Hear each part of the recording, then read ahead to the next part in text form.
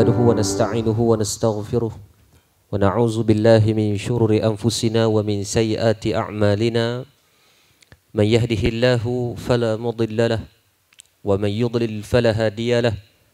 أشهد أن لا إله إلا الله وأشهد أن سيدنا محمدا عبده ورسوله.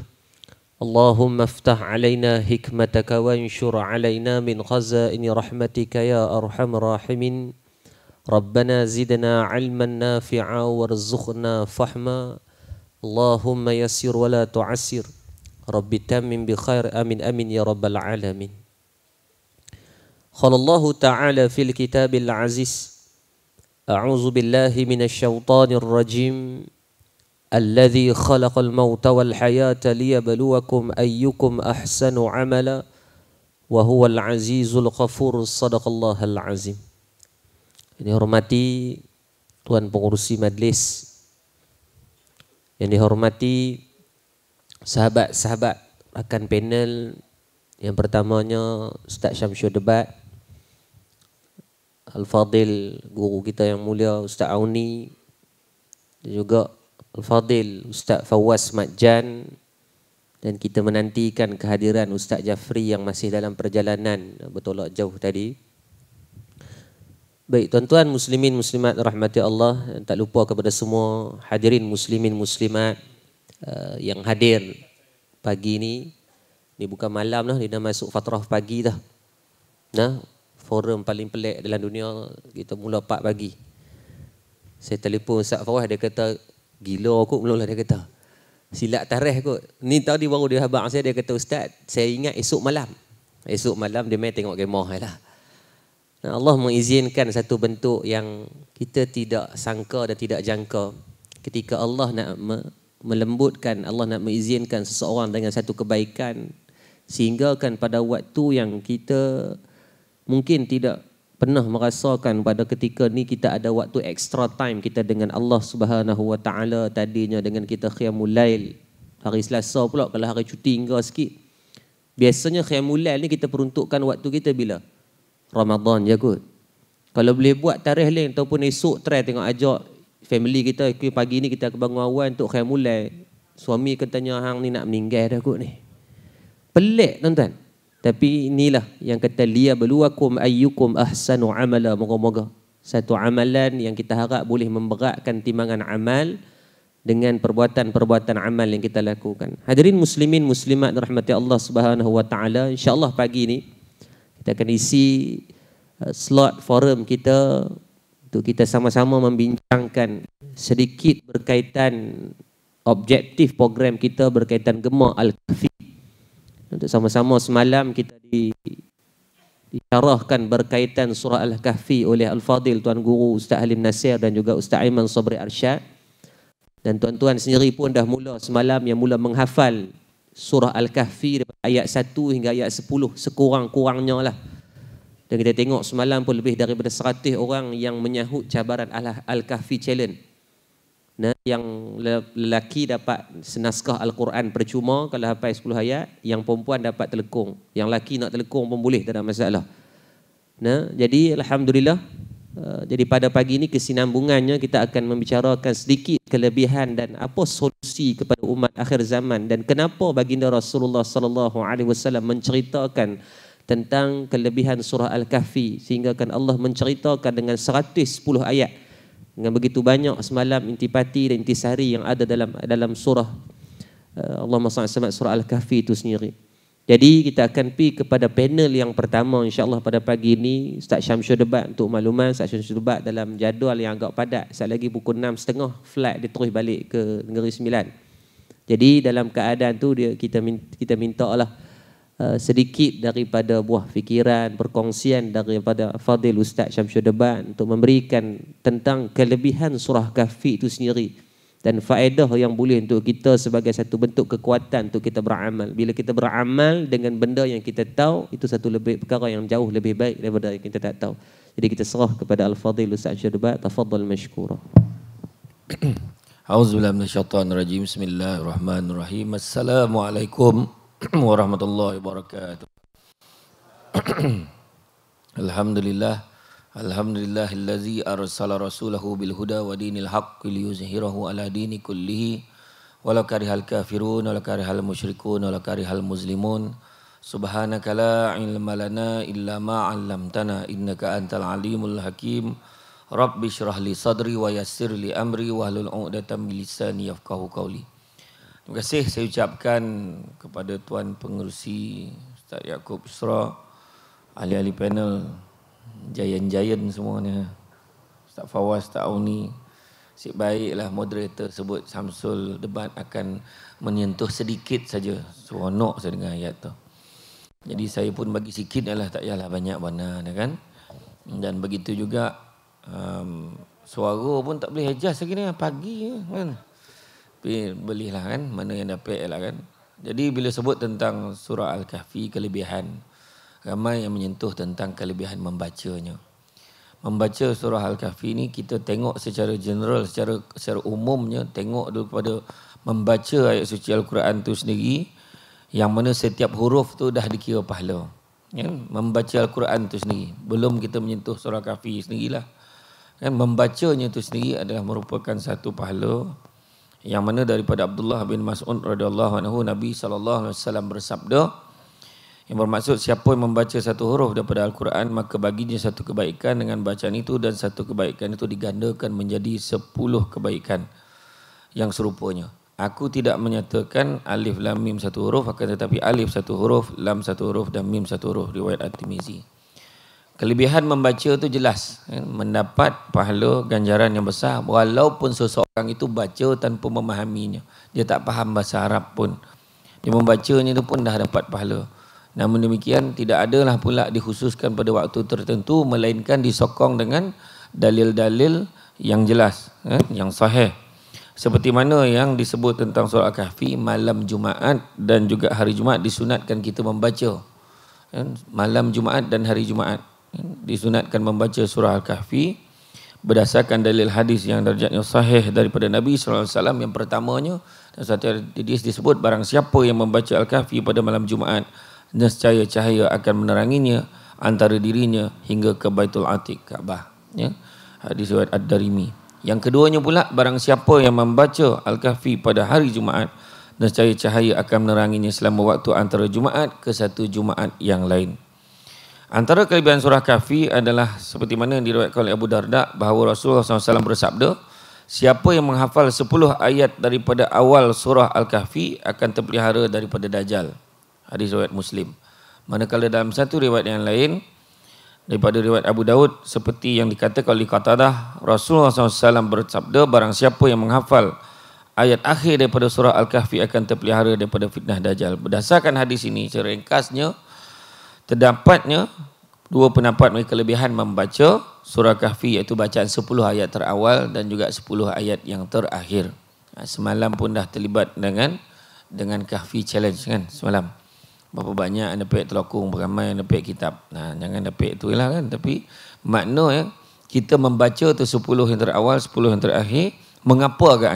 Nah, sebabnya 10 yang terawal memperlihatkan mengenai kenyataan Al-Quran dan keadaan orang-orang yang kufur serta orang yang beriman terhadap Quran manakala 10 ayat terakhir pula menerangkan tentang natijah natijah dan kesan kepada orang-orang yang orang-orang yang tidak orang-orang yang tidak tidak uh, orang yang yang kufur kepada Allah Subhanahu wa taala. Tetapi barang diingat tentang surah Kahfi ini bila kita sebut ni satu perkara membacanya satu hal. Tetapi yang paling penting sekali adalah kita memahaminya. Dan lebih baik lagi kita bila memahaminya tu mengamalkannya pula dalam kehidupan kita. Kalau kita tengok dalam kisah Ashabul Kahfi itu sendiri, fitnah yang datang ada kalanya sampai satu tahap tu kita ambil tindakan untuk mengelakkan kita terjebak daripada fitnah itu. Ha, itu sebab penting. Jadi bukan hanya kita membacanya saja. Kadang orang menghafal, oh cukuplah ni. Tak tak cukup. Dengan membaca, kalau boleh tazakur, ingat kita. Ingat betul-betul. Kemudian memahaminya pula dan mengamalkan dalam kehidupan kita sehari-harian. Banyak hari ini orang membaca. Tetapi salah faham, baca sajalah. Baca cukup, tak cukup kita juga perlu memahaminya dan mengamalkan dalam kehidupan kita seharian. Jadi minta maaf banyak salah silap terkasar bahasa dan sebagainya. Setakat itulah penampilan saya pada pagi ini. Dahlah subuh kan, dahlah dahlah menjelang subuh kau jap pula sebab saya ada program lain pula di Kuala Lumpur. Minta maaf banyak. Kita jumpa lagi di lain masa. Assalamualaikum warahmatullahi wabarakatuh. Baik, uh, terima kasih banyak kepada Al-Fadhil Ustaz Syamsul Debat. Ringkas sungguh. Baik, tuan-tuan rahmati Allah Subhanahu wa taala. Maka beberapa hadis yang dibacakan tadi berkaitan yang pertamanya uh, berkaitan pembacaan Al-Quran itu sendiri daripada huruf ke huruf merupakan satu manfaat yang besar kepada bentuk timbangan amal. Hari ini tuan-tuan rahmati Allah ada manusia yang mungkin Allah mengizinkan syurga kepada dia dengan jalan yang dia sedekah. Tapi pada orang yang mungkin tidak ada duit, maka sedekah mungkin bukan jalan yang dia mampu buat. Tapi ada orang yang mungkin tidak sedekah, maka dia boleh menggunakan ilmu. Tapi ada orang yang mungkin ilmunya mungkin tidak mampu untuk sampaikan pada orang dengan cara mungkin dengan menulis. Ada orang yang mungkin tidak boleh dengan menulis, maka mungkin dengan cara dia menguatkan himmah dengan membanyakkan membaca daripada Al-Quran. Sebab tu tuan-tuan carilah ruang dan gelanggang mana yang kita mampu untuk memberikan manfaat. Yang disebut dengan wa'amila lima ba'dal maut satu amal yang boleh moga-moga menjadi satu bekal untuk kita bawa lima ba'dal maut selepas daripada kematian kita nanti. Sebab satu kematian aish ma syi'ta fa innaka mayyit nabi sebut. Hidup pasti bertemu dengan barang mati. Nah, tidak ada satu pun yang akan boleh berlepas. Umur bukan menjadi penghalang tak ada Nah, orang muda mati, orang tua mati, bayi yang belum dilahirkan duduk dalam perut lagi pun Allah boleh mengizinkan kematian pada dia. Maka apatah lagi sebab tu ulama menyebut syarat kepada mati ni satu ya. Syarat dia apa? Makhluk kena hidup, benda tu kena hidup. Maka semua kita yang mai pagi ini tidak berkecuali moga-moga Allah mengizinkan daripada ruang kehidupan kita tadi ada beberapa manfaat yang kita boleh ambil. Nah, apatah lagi dari sudut amalan yang kita boleh dapatkan yang kita boleh usahakan setidaknya dengan 10 ayat yang terawal dan 10 ayat yang terakhir. Baik kita pergi kepada Ustaz uh, Auni insya-Allah. Ada ramai yang yang tanya bila Ustaz ni nak turun belah Sungai Petani, Sungai Petani. Alhamdulillah hari ni Ustaz ini uh, memberikan kelapangan waktu walaupun saat ini kalau ikutnya waktu persekolahan ni. Saat ini pun nak kena rushing balik ke Pulau Pinang. Moga-moga Allah membalas dengan balasan pahala guru kita insya-Allah. Baik, uh, soalan buat Al-Fadhil tahun ni berkaitan kita nak tahu sedikit secara uh, detail berkaitan uh, sebun nuzul. Uh, Allah menurunkan surah Al-Kahfi itu sendiri uh, dan juga berkaitan kejadian apa? Sebab kalau kita tengok daripada 110 ayat itu rangkuman ni terlalu banyak sangat. Maka apakah bentuk faedah yang kepada yang disebut dengan umat akhir zaman ini berdasarkan daripada pengajaran yang dapat kita ambil? Insyaallah. Tafadhal mashkurah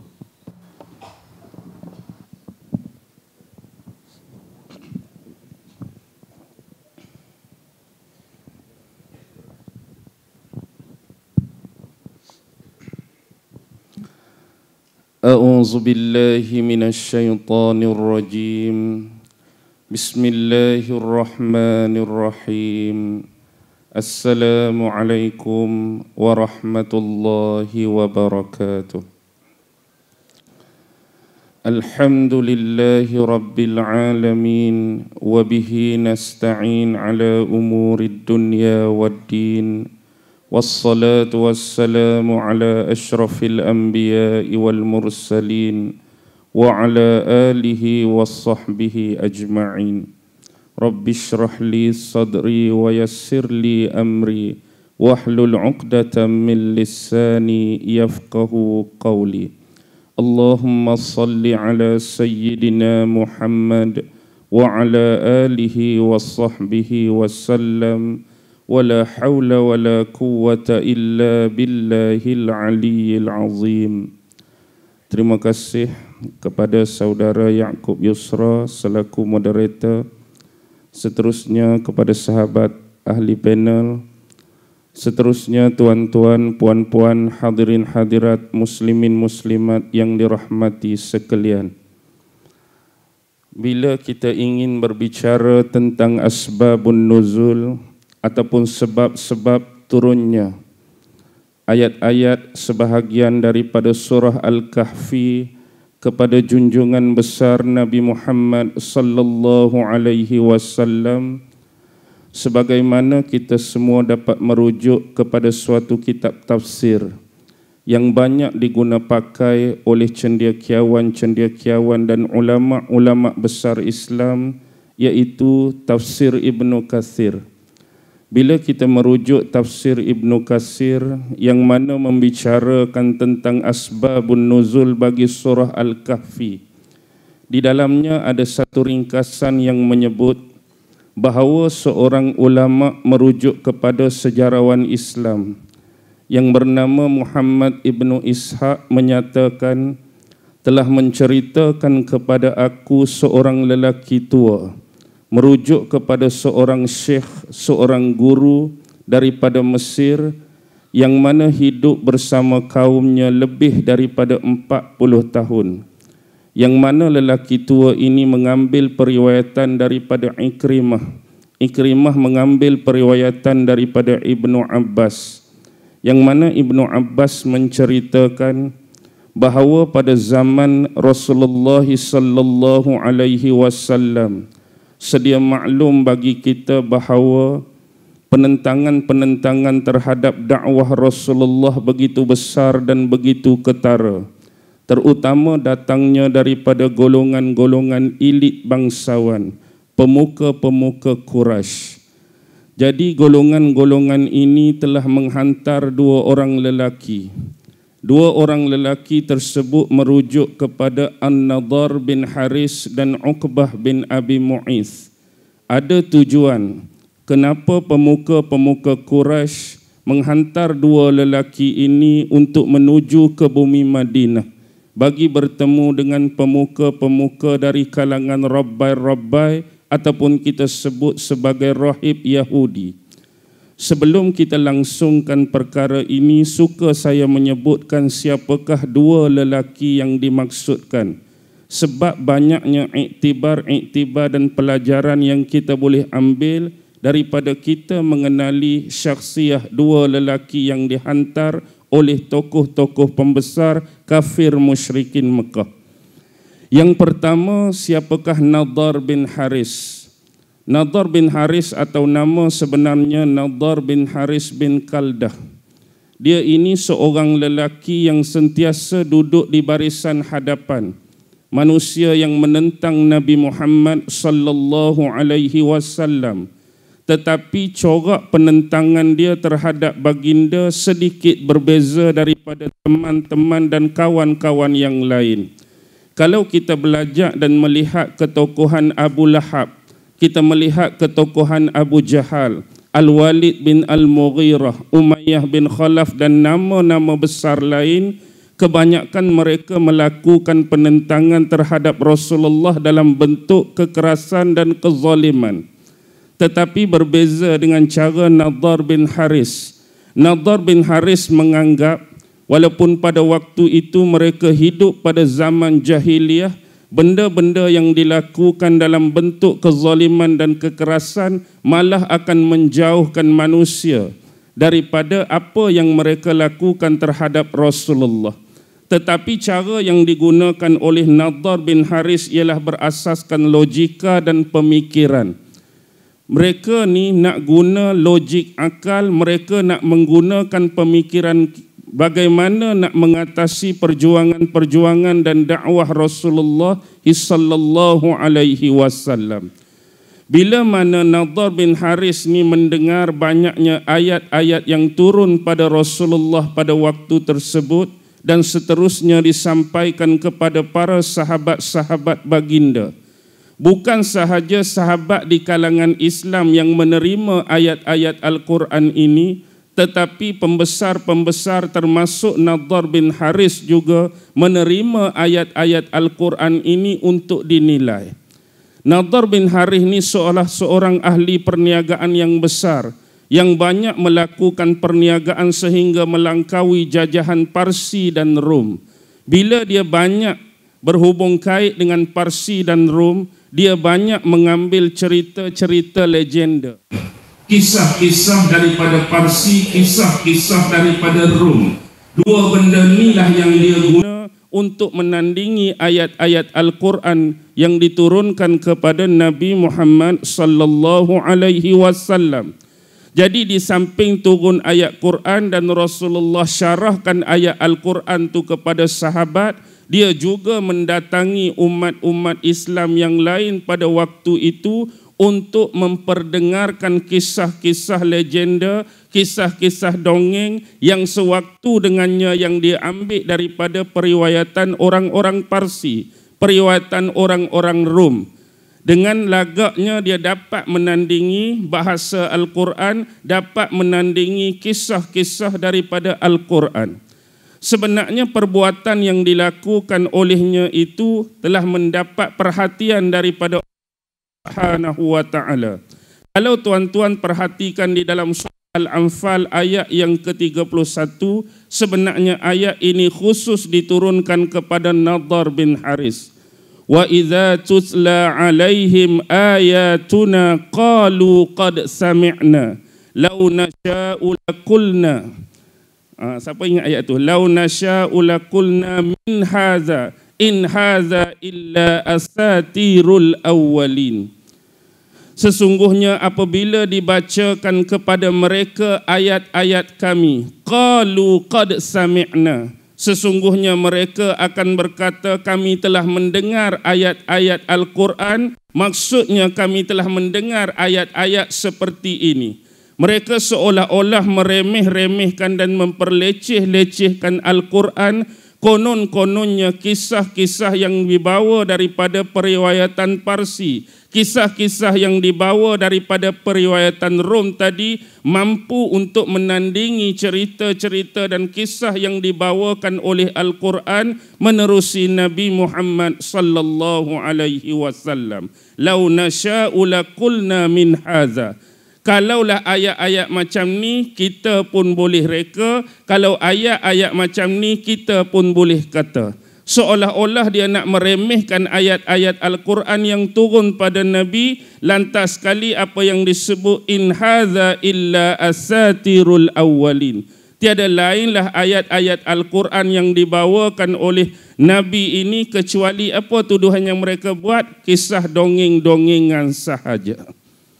Ayat ini turun khusus kepada Nadar bin Haris. Tak cukup dengan itu apa yang beliau buat. Bila mana seseorang tu mendatangkan idea-idea dalam bentuk demikian, apa yang terjadi? Sampai masa mereka kekeringan dan kekontangan idea untuk mendapatkan cerita dan riwayat. Cerita ada banyak tu saja bila habis cerita habis modal sejarah banyak tu saja habis sejarah habis modal. Jadi cara yang kedua bila mana dia ada hubungan yang kuat dengan Parsi dan Rom sebagai contoh dia belajar pula seni muzik. Dia belajar pula seni tari, dia belajar pula seni nyanyian. Kerana dia beranggapan bahawa seni-seni yang sama turut berada dalam alunan bacaan ayat-ayat Al-Quran. Sebagai contoh, ayat-ayat Al-Quran uh, mengandungi kerinduan yang tersendiri, kesyahduan yang tersendiri, keasyikan yang tersendiri. Jadi dia nak gunakan poin yang kedua dengan dia belajar seni, dia belajar lagu, dia belajar tarian. Bila dia menguasai ketiga-tiga benda ni, dia bawa balik semula ke Mekah. Bila bawa balik semula ke Mekah, dia mengupah perempuan-perempuan cantik perempuan-perempuan ni akan menari seiring dengan lagu-lagu dan syair yang dia bawa.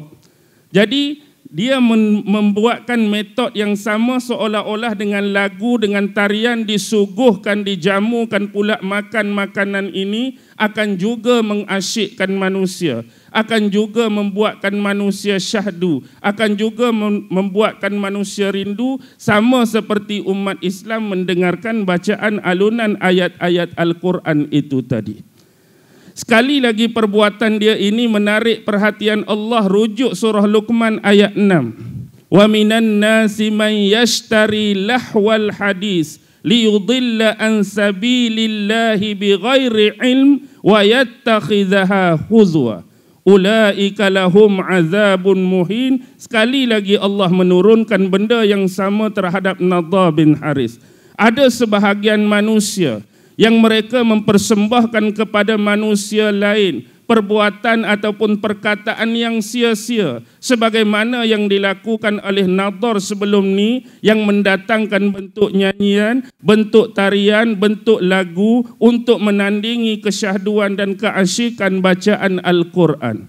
Semata-mata apa? Untuk menyesatkan manusia daripada jalan Allah dengan tanpa pengetahuan yang sebenar bukan dengan ilmu yang sebenar wa yattakhidhaha huzwa semata-mata jalan ini untuk memperolok-olokkan manusia lain ulaika lahum azabun muhin dan mereka akan menerima balasan yang amat-amat menghinakan Adakah cukup berakhir sampai di sini? Tidak tuan-tuan dan puan-puan.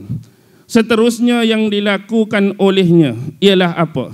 Taktik pertama yang dia guna tak berjaya. Taktik kedua yang dia guna juga tidak berjaya. Akhirnya dia menggunakan taktik yang ketiga. Taktik yang ketiga yang digunakan ialah membuat tuduhan-tuduhan palsu terhadap Nabi Muhammad. Bahkan ini diperakukan pada akhir tuduhan itu yang mana dituduhkan kepada Nabi Muhammad berupa apa? Dalam bahasa Inggeris disebut sebagai assassination character, iaitu pembunuhan watak.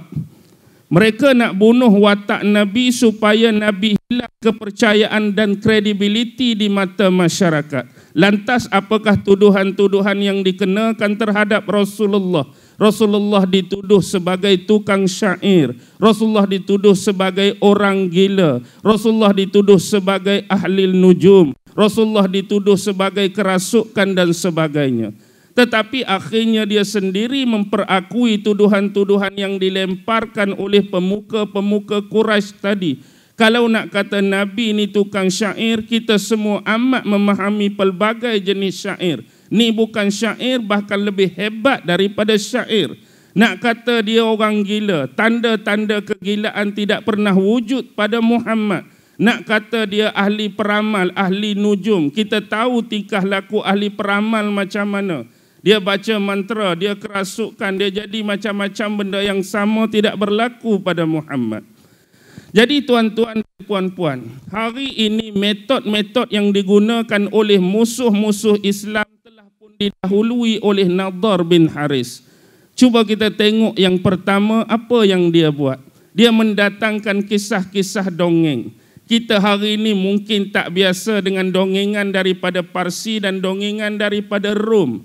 Tetapi yang hari ini yang melarikan anak-anak kita daripada memahami kisah-kisah sebenar dalam Al-Quran ialah jenis cerita-cerita yang berbentuk fiktif yang kita panggil fiction.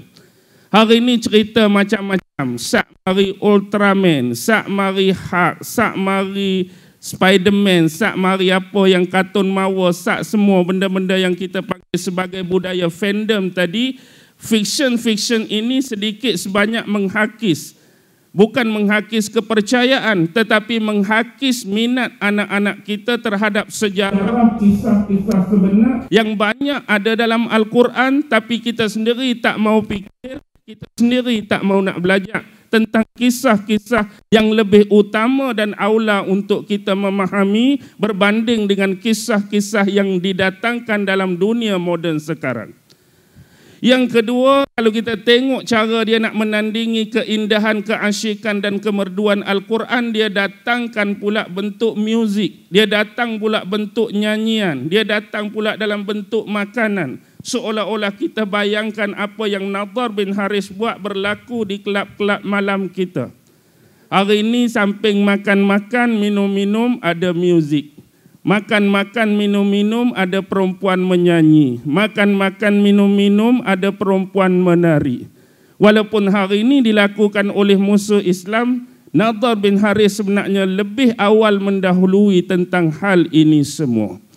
Itulah Nadar bin Haris. Siapa dia yang kedua? Uqbah bin Abi Mu'iz. Uqbah bin Abi Mu'iz banyak disebutkan dalam hadis-hadis Rasulullah. Antara tiga yang menarik menerusi hadis Rasulullah tentang Uqbah bin Mu'iz, antaranya Rasulullah sallallahu alaihi wasallam bersabda. Apa yang disabdakan oleh Rasul? Sesungguhnya aku bertetangga, aku berjiran dengan dua orang yang paling jelik Nabi nak sebut dia ni berjiran dengan dua orang yang paling teruk. Siapa? Satu tu pak saudara dia, Abu Lahab. Yang kedua ialah Uqbah bin Abi Mu'iz ni lah. Walaupun sebenarnya banyak riwayat yang menyebut antara tetangga dan jiran Rasulullah yang paling banyak menyakiti Nabi. Orang yang lempak najis depan pintu rumah, orang yang lempak benda-benda tak elok depan pintu rumah, orang yang lempak sisa-sisa makanan pintu rumah, ada lima orang. Pertama Abu Lahab, yang kedua Uqbah bin Abi Mu'iz, yang ketiga Al-Hakam bin Ash bin Umayyah, yang ketiga ah, yang keempat Ibnul Hamra As-Saqafi dan yang kelima Al-Ashhad Al-Huzali. Ni lima orang dalam sejarah yang paling banyak menyakiti jiwa dan hati Rasulullah menerusi perbuatan-perbuatan mereka selaku mereka berjiran dan bertetangga dengan Rasulullah. Antara hadis lain Rasulullah sebut tentang Uqbah bin Abi Mu'iz ialah Aku sesekali tidak akan bertemu dengan kamu di luar kota Mekah kecuali kalau aku melihat kamu aku akan memenggal kepala kamu. Tu kata Rasulullah terhadap Uqbah bin Abi Mu'iz. Dan ada satu doa dalam hadis Rasulullah sebut, Ya Allah balikkanlah lubang hidung Uqbah bin Abi Mu'iz dan jatuhkanlah dia. Ini adalah antara perkara-perkara yang menunjukkan kerendahan peribadi dan kejelekan pekerti yang diadakan dalam diri Uqbah bin Abi Mu'iz. Uqbah bin Abi Mu'iz ni adalah seorang lelaki yang memang mempunyai sifat-sifat yang tidak elok amat-amat teruk. Bahkan kalau ada berlaku pertemuan pemuka-pemuka kafir musyrikin Mekah pun, dia sendiri amat-amat tidak disukai. Sebagai contoh kerana sifat dia yang paling besar ialah suka mengingkari janji.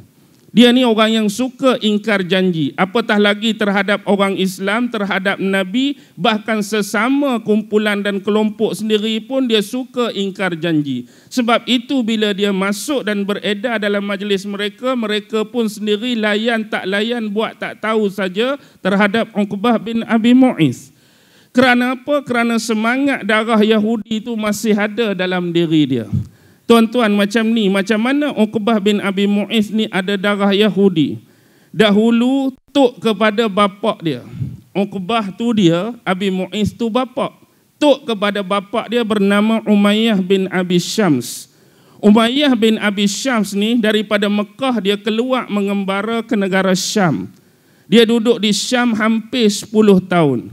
Tiba-tiba terjadi suatu perkara yang tidak diingini apabila dia bermuka. Dia berzina dengan seorang perempuan Yahudi daripada perkampungan Safuria.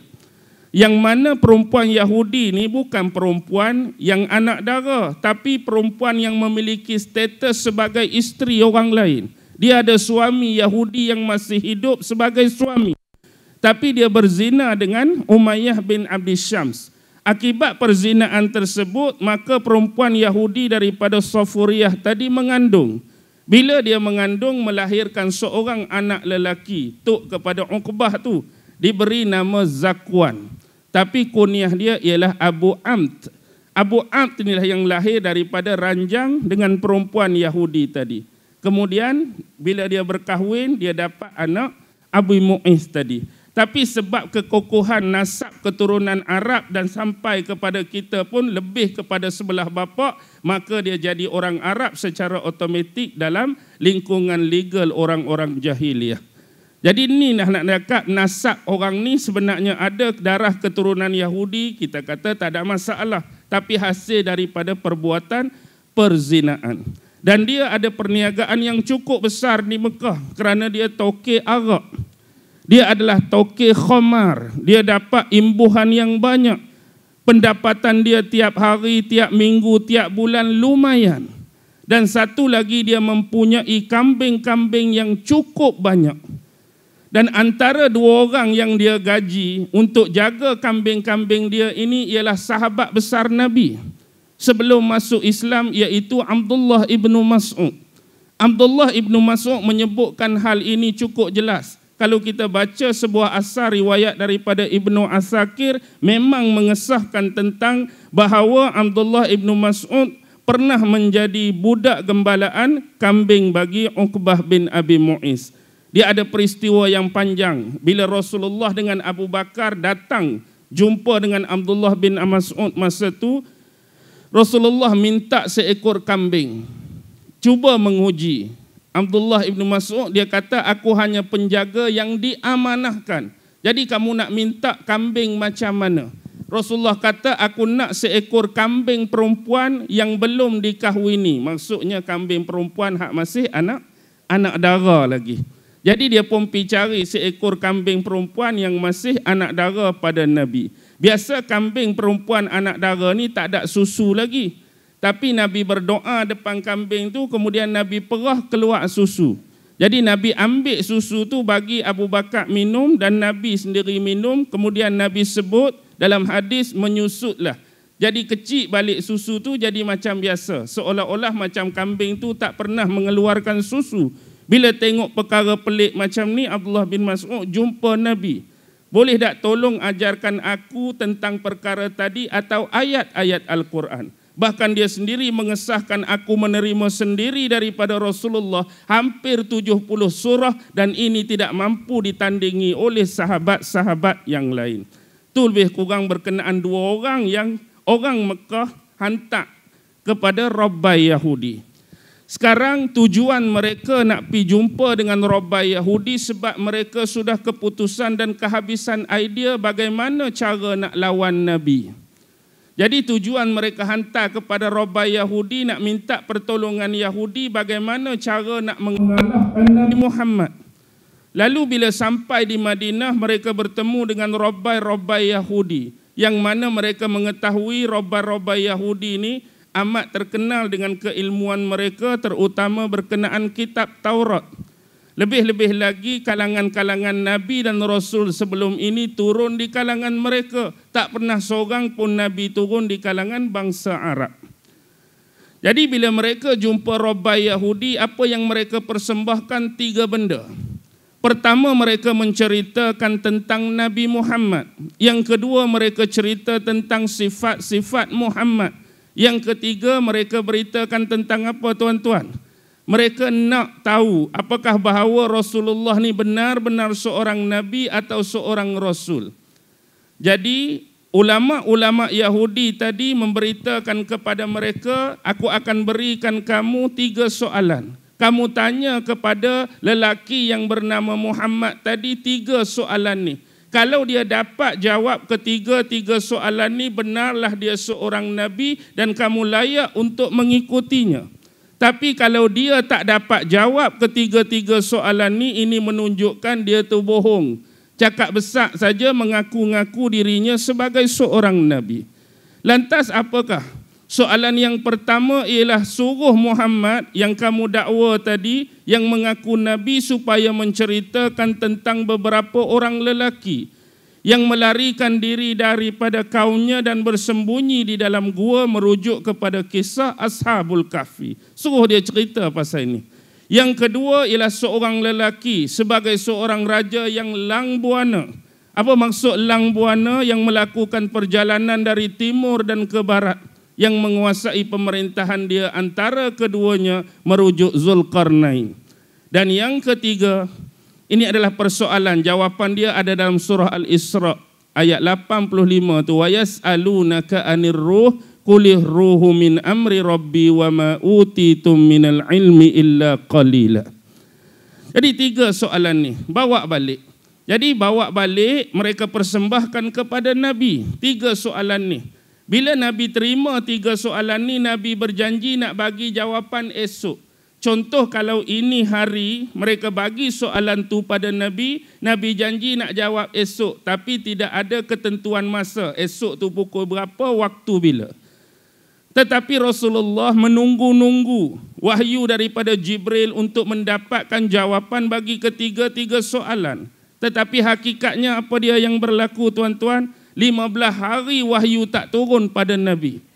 Nabi jadi resah, Nabi jadi sedih, Nabi jadi kecewa kerana tanggapan orang-orang di Mekah sudah bertukar. Sebab Nabi sebelum ni kalau berjanji dia akan lunas, kalau berjanji dia akan buat, kalau berjanji dia akan kota.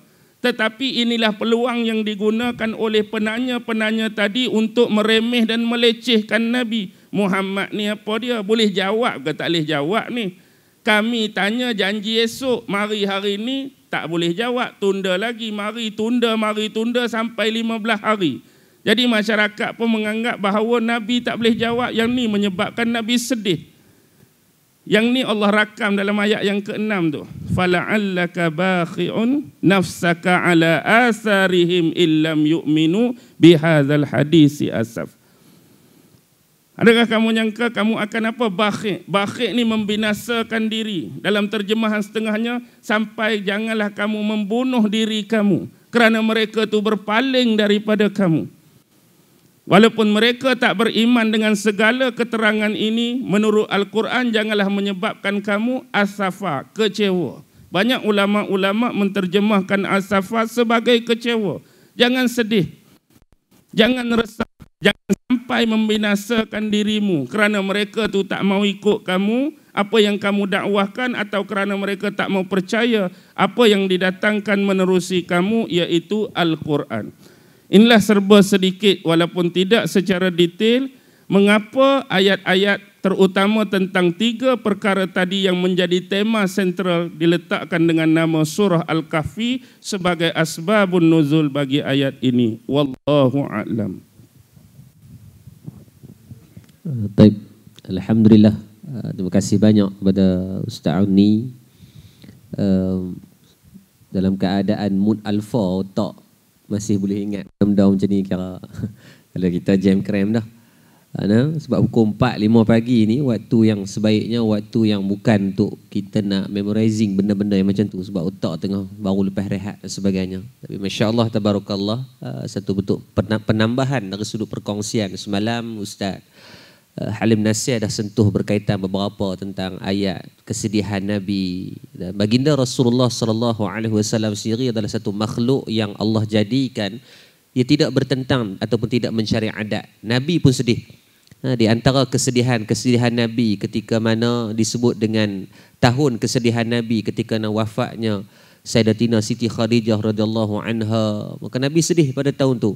Nak bawa diri ke kota Taif orang buat perangai pula dan sebagainya. Dan juga kita tengok juga dirakamkan dalam dalam kitab Sirah Nabi Dr. Mustafa As-Sibai menyebut bagaimana Rasulullah sallallahu alaihi wasallam pernah menangis ketika Uh, wafatnya anda Nabi Ibrahim uh, pada tahun yang ke-9 atau 8 Hijrah, maka Nabi menangis ketika itu mendapat perkhabaran wafatnya anak Nabi. Maka kesedihan itu tidak salah. Tapi yang kita takut hari ini Nabi sebut wa ahbib ma syi'ta fa innaka majziyun bihi apa yang kita sayang hari ini, kita kasih hari ini, kita akan berpisah dengan dia sampai satu hari. Isteri yang kita sayang satu hari sama ada kita mungkin mendahului dia ataupun dia mendahului kita. Anak yang kita kasih, mak ayah yang kita kasih, harta yang kita duk pegang, kenderaan yang kita duk jaga. Maka semua ni satu hari, maka tetap kita akan berpisah. Maka salah untuk kita bersedih, tak salah. Tapi kita bimbang dalam keadaan sebelum hilang, kita dah mula sedih. Sebelum dia duk ada ni pun, kita dah seolah-olah menafikan hak dan tanggungjawab dia. Maka yang ni yang patut kita ambil peringatan. Maka banyak kalau kita tengok konten yang Allah jadikan, yang Allah sebut di dalam surah Al-Kahfi itu terlalu banyak sangat. Kisah Zulkarnain, kisah Ya'jud wal Ma'jud. Allah cerita tentang kesedihan Nabi. Allah cerita tentang neraka Jahannam pada pengakhiran pengakhiran ayatnya.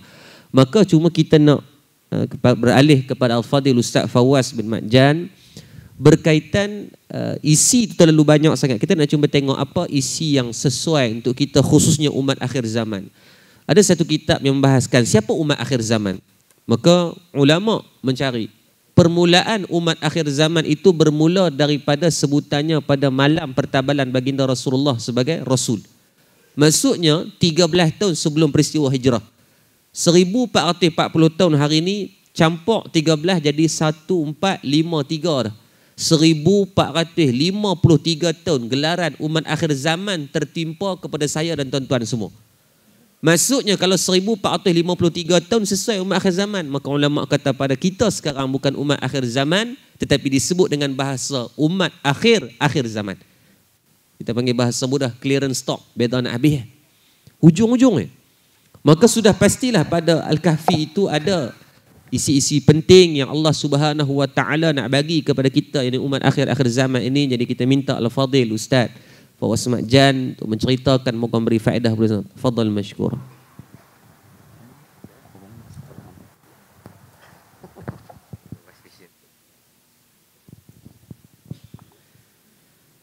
أعوذ بالله من الشيطان الرجيم بسم الله الرحمن الرحيم السلام عليكم ورحمة الله وبركاته الحمد لله وكفى والصلاة والسلام على رسولنا المصطفى وعلى آله وأصحابه وأنصاره وأتباعه وأهل ملته ومن اهتدى. اللهم اجعل جمعنا هذا جمعا مرحوما وتفرقنا من بعده تفرقا معصوما. ولا حول ولا قوة إلا بالله العلي العظيم. قال الله تعالى في كتاب العزيز أعوذ بالله من الشيطان الرجيم. يسألونك عن الساعة أيان مرساها؟ fima anta min dhikraha ila rabbika muntahaha. Sadaqallahul azim. Eh, terima kasih diucapkan pada Al-Fadhil eh, Ustaz Yaakob Yusro selaku moderator kita pada pagi ini. Khususnya dihormati gading rakan panel Fadil. Eh, Ustaz Uni bin Muhammad, Fadil, Ustaz Jafri bin Abu Bakar Mahmudi dan yang telah meninggalkan kita sebentar tadi. Oh, Fadil, Ustaz Syamsul Debat. Khususnya muslimin muslimat dirahmati Allah Subhanahu wa taala sekalian. Alhamdulillah kita rafakkan kesyukuran pada Allah Subhanahu wa taala pagi ini Allah himpunkan kita. Saya pun sebenarnya tak sangka ni. Sebab kalau tengok esok ataupun pagi ni hari Selasa orang bekerja. Tapi boleh tengok forum sebelum subuh mu ramai ni kira hebat lah. No, hebat. Nah, tahniah diucapkan pada Darul Murtada, tahniah diucapkan pada Yayah Bubu sekalian kerana boleh hadir pada pagi yang seumpama ni. No. Baik. Boleh kan?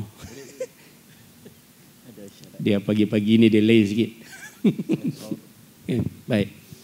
Sahabat-sahabat yang dirahmati Allah Subhanahu Taala sekalian, uh, kalau kita tengok dalam Quran, kalau boleh balik sekali buka tengok no, eh, Al-Quran, khususnya bagi yang dapat Al-Quran semalam, semalam. No, yang mana dapat hadiah Al-Quran dan sebagainya, balik boleh tengok. Di dalam Al-Quran, kalau kita tengok di tengah-tengah Al-Quran itu, Allah Ta'ala datangkan tiga surah yang sangat menarik. Tiga surah yang sangat menarik. Boleh tengok juzuk 15 dan lebih sikit. Masuk ke juzuk 16 yang mana dalam tiga ataupun dalam surah tersebut Allah Taala bawa tiga surah yang menceritakan tentang amrun khaliqun lil adah tiga perkara ataupun tiga cerita yang bercanggah dengan adat manusia. Boleh tengok. Yang pertama Allah Taala bawa dalam suratul Isra. Suratul Isra juzuk 15 dalam mana dalam surah tu ada cerita berkaitan dengan Isra wal Mi'raj benda yang mencari adat yang berlaku pada baginda SAW yang kedua Allah Ta'ala datangkan suratul kahfi. Yang mana suratul kahfi cerita tentang ashabul kahfi Yang tidur 300 tahun ataupun 309 tahun tu. Benda tu pun benda yang bercanggah ataupun mencari adat.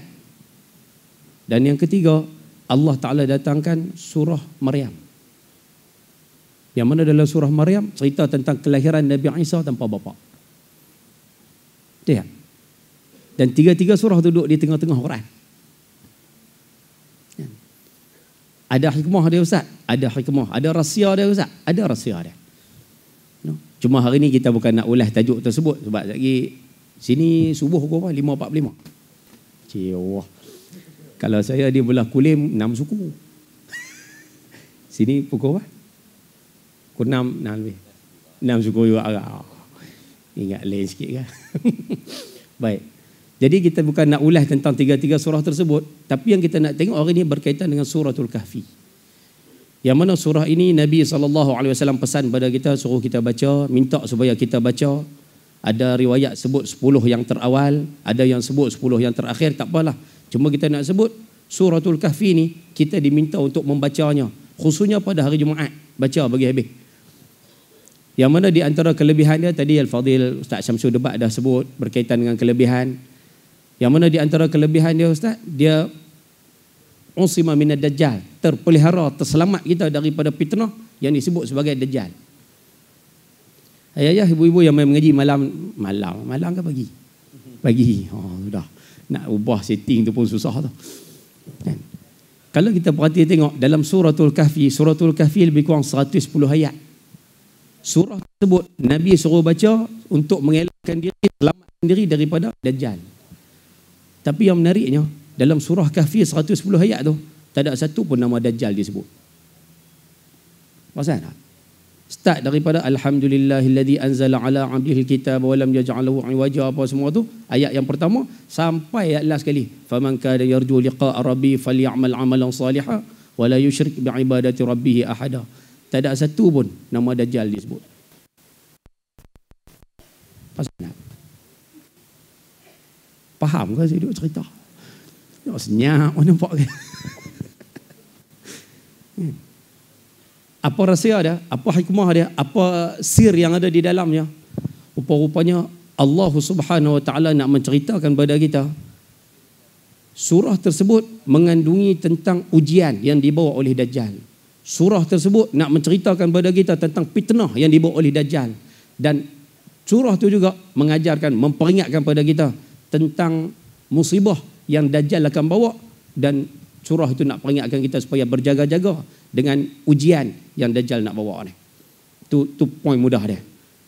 Yang mana dalam surah ni ada empat poin penting. Yang mana empat ni lah merupakan ujian besar yang Dajjal akan bawa di akhir zaman. Ayah-ayah ibu-ibu yang main mengaji petang ni. Petang pula dah. Ha, tu kata tu. Kena putih awal eh. Bagi Ustaz Zafri cakap banyak. Saya tak pernah semua hidup tak pernah forum Tengok saya mulai ni. Kan? Bini pun saya tak pernah beletiak Tengok saya mulai ni. Kan? Kita gerak lah. Tak ada beletiak-beletiak lah. Aduh. Ada seorang ulama daripada Al-Azhar. Tak silap saya bekas mufti Mesir. Syekh Ali Jumaah pernah sebut. Beliau mengatakan. Tanda-tanda kiamat yang kecil. Tanda-tanda kiamat yang kecil ni. Yang besar 10 ya. Yang kecil ni. Tanda kiamat yang kecil ni telah habis keluar atas muka bumi ini telah habis muncul atas muka bumi ini fi awakhir qarnil ashrin pada penghujung kurun ke-20 yang mana kalau kita buat dalam bahasa mudah kita macam inilah rupanya bila masuk hari itu tahun Y2K tahun 2000 tu rupanya bila cecah tahun 2000 Masihi rupanya tanda-tanda kiamat kecil sebenarnya dah keluar habis dah atas muka bumi ini yang mana kita sekarang berada pada tahun 2019 2019 mana 19 tahun dah kita berada selepas daripada tahun 2000 maknanya sekarang kita memang betul-betul sedang menunggu kedatangan tanda kiamat besar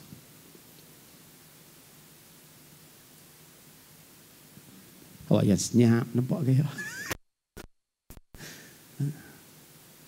maknanya sekarang Ustaz kita sekarang berada dalam fasa sedang menunggu kedatangan tanda kiamat besar dan tanda yang paling menakutkan adalah Dajjal. Dan Dajjal bila dia datang, dia membawa kepada kita empat musibah besar yang Allah Ta'ala sebut dalam suratul kafi. Musibah apa Ustaz? Baik, saya ringkas-ringkaskan. Yang pertama sekali, sahabat-sahabat balik boleh tengok tentang cerita Ashabul Kahfi. Kalau tak silap saya ada ayat 10 kot dalam Quran. Allah Ta'ala sebut, Iz awal fityatu ilal kahfi itu. Start daripada situ. Rupa-rupanya di antara ujian yang akan dibawa oleh Dajjal. Dajjal ni bila dia mai, ujian yang dia bawa adalah ujian untuk merosakkan iman manusia. Itu nombor satu. Dia akan rosakkan keyakinan manusia kepada Allah Subhanahu Wa Taala. Dia akan rosakkan pegangan hidup manusia. Bahasa kampung kita, akidah manusia dia akan rosakkan. Dan inilah yang berlaku pada hari ini. Tu yang main macam-macam pahaman. Dia main macam-macam macam-macam lah duk main hari ini. Yang mana kesemuanya ni menyebabkan sampai satu tahap akidah umat Islam mula goyah. Akidah orang Islam mula rosak. Orang Islam mula lari daripada pegangan Islam yang sebenar. Pasal dengan ajaran sesatnya, dengan benda hak merepeknya, main liberalnya, main plural, macam-macam mari yang ini. Rupanya Dajjal, dia datang di atas muka bumi, nombor satu, dia akan merosakkan iman manusia. Sebab itu adik-adik yang ada pada hari ini, yang hadir pada hari ini, sekarang ini menjadi tanggungjawab kita balik. Saya akan sebut sekali di penghujung sebentar lagi. Tanggungjawab kita hari ini, kita patut sama-sama untuk memperkemaskan akidah. Patut ngaji balik ilmu sifat 20. Ngaji balik. Nah, tu senang nak sebut poin mudah. Ngaji balik ilmu sifat 20. Itu adalah satu ilmu yang cukup ampuh nak lawan Dajjal di hari di akhir zaman ni. Cukup kuat tu nak lawan Dajjal. Ngaji balik ilmu sifat 20. Jangan mengaji ilmu tauhid tiga serangkai. Kan? Mengaji balik ilmu sifat 20 tu. Mengaji balik bagi kemah. Tu ilmu tu cukup kuat untuk benteng kita menghadapi Dajjal. Kita bahasa kasar tu no? Tak silap saya baba eh kot. Baba eh sepanjang pernah sebut. Ataupun kalau silap minta maaf. Mungkin baba yang lain pernah sebut. Dia kata kita tak perlu bahas sangat bab akhir zaman ni. Tak perlu bahas sangat bab Dajjal ni. Tak perlu nak korek sampai detail-detail sangat bab Dajjal ni. Tak perlu. Kan? Ni kita sebagai talibul alim penuntut ilmu tak payah korek teruk sangat pun tak apa. Kan? Tapi yang pentingnya perkemaskan akidah kita. Akidah kita kemas, insya-Allah marilah dajjal ataupun yang seumpama dengannya, insya-Allah kita akan selamat daripada ujian berkaitan dengan iman ni. Insya-Allah kita tak akan mengaku dajjal itu Tuhan dan kita tak akan mengikut dajjal yang merupakan posok umat manusia di akhir zaman. Lepas tu mengaji balik ilmu sifat 20. Tauhid, ilmu tauhid mengaji balik. Boleh dapat poin tu? Boleh no? Satu. Yang kedua, Dajjal bila dia datang, apa yang dia buat? Apa ujian dia dia akan bawa? Yang kedua, Allah Taala datang ke dalam Quran, wadrib lahum mathalar rajulain ja'alna li ahadihima jannatain min a'nab ila akhiril ayat. Cerita berkaitan dengan dua lelaki yang mana mereka memiliki kebun. Eh, balik boleh tengok ayat berapa? Ayat 30 lebih kot. Balik boleh tengok balik. Nah, yang mana dalam ujian yang kedua yang Dajjal bawa adalah ujian berkaitan dengan harta. Yang mana Dajjal bila dia datang, Dajjal bila dia muncul atas muka bumi, ujian yang dia akan bawa untuk rosakkan umat Islam, ujian yang berkait dengan harta. Dan hari ini kita tengok no, walaupun Dajjal belum lagi muncul, Dajjal belum lagi keluar. Tapi kita tengok hari ini, berapa banyak umat manusia hari ini sudah terpedaya dengan harta. Hari ini apa saja keputusan nak dibuat semua dinilai berdasarkan harta. Nak buat apa pun tengok harta. Nak lantik orang jadi ketua, tengok harta. Nak cari menentu, tengok harta. Apa saja hari ini pun semua harta ya. Hatta manusia hari ini jadi satu bahasa mudah kita sebut no, seolah-olah hidup dalam satu suasana materialistik. Kira hidup nampak harta. Ya.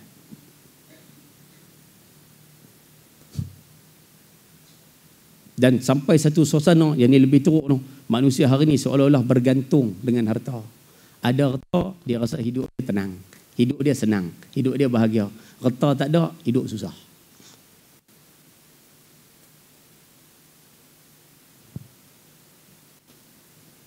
faham ke saya duduk cerita dia mari tu yang mana hari ni suasana tu kena pada yang kafir pun kena, yang muslim pun kena. Orang kafir pun kena, orang Islam yang berakidah dengan akidah yang benar ni pun kena dengan penyakit ni. Baik tu hari ni pun reta. Nak nilai apa pun reta. Nak hukum apa pun reta. Apa semua pun dinilai dengan harta. Sebab itu bila Dajjal datang nanti, kan? Orang-orang yang bahasa mudah kita sebut orang yang gila kepada harta ni, Dajjal keluar, dia cukup senang untuk mengikut Dajjal. Dajjal akan gunakan kelemahan harta dia tu. Sebab tu yang ni pun sama juga, saya ulang saya lagi. Nak buang ini adalah satu juga memerlukan ilmu tasawuf. Memerlukan penguasaan ilmu akidah. Sama eh. Sebab tu kena mengaji. Ya, ilmu tasawuf jangan buang. Akhir zaman sebab tu kalau kita tengok musuh-musuh Islam nak buang ilmu tasawuf. Dia nak buang. Dan memang pengikut Dajjal ni memang dia tak nak umat Islam mempelajari ilmu tasawuf. Sebab ilmu ni lah yang akan membenting manusia daripada ujian harta. Ilmu ni kena buang. Sebab tu kita duduk dengar, ibu-ibu duduk dengar kan. Bila sebut nama tasawuf, orang duduk nampak ajaran sesat. Sebut nama tasawuf, duduk nampak pakai serban besar. Pegang majid tasbih besar. Duduk meratik tengah malam. Lah kali duduk meratik-meratik, lah kali gila isim. Bila sebut nama tasawuf, orang sekarang nampak ni ajaran sesat. Sebut nama tasawuf ajaran ini menyeleweng pada Islam. Sedangkan Imam Zabidi sebut clear dalam apa Ittihafus Sadah. Ayat yang clear tak silap saya juzuk dua sebut. Ala inna tasawufa lahu al adab. Yang dikatakan tasawuf tasawuf tasawuf ni tasawuf tu ilmu adab ilmu akhlak tasawuf ni ilmu adab ilmu akhlak tapi hari ni orang momok pada kita tasawuf sesat tasawuf sesat Lepas tu kalau boleh tolong hati-hati noh dengan isu harta ni tolong hati-hati semua-semua. Nah. Lepas tu kalau boleh pakat-pakat jaga. Akhir zaman ni memang tak upaya ni. Ini antara ujian yang besar ni. Saya pun takut juga dengan ujian harta ni. Cukup takut.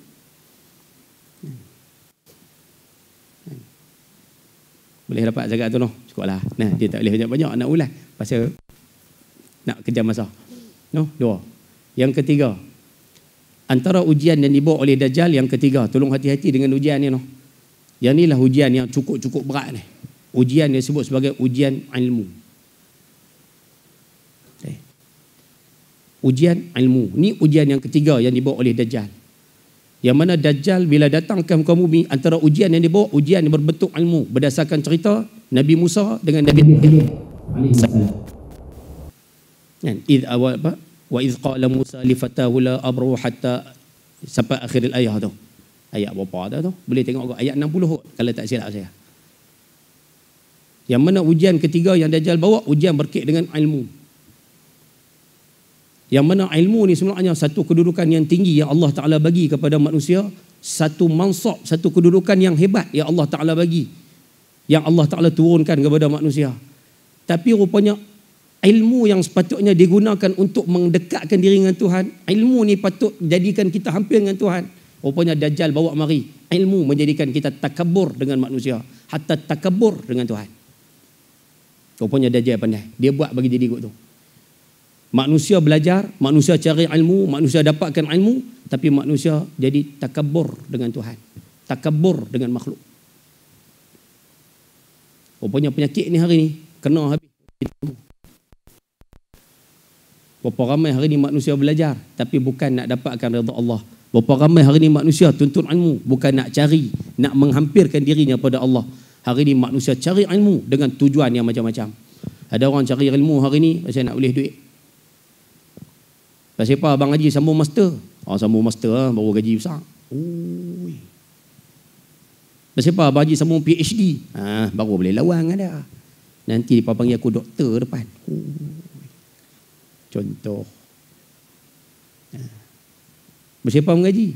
Allah kena mengaji ya. Kan? Bersip? Allah. Rupanya bila mari akhir zaman, dia akan mari satu suasana dajjal, rosakkan manusia dengan ilmu. Dan hari ini minta maaf ayuh sekalian. No?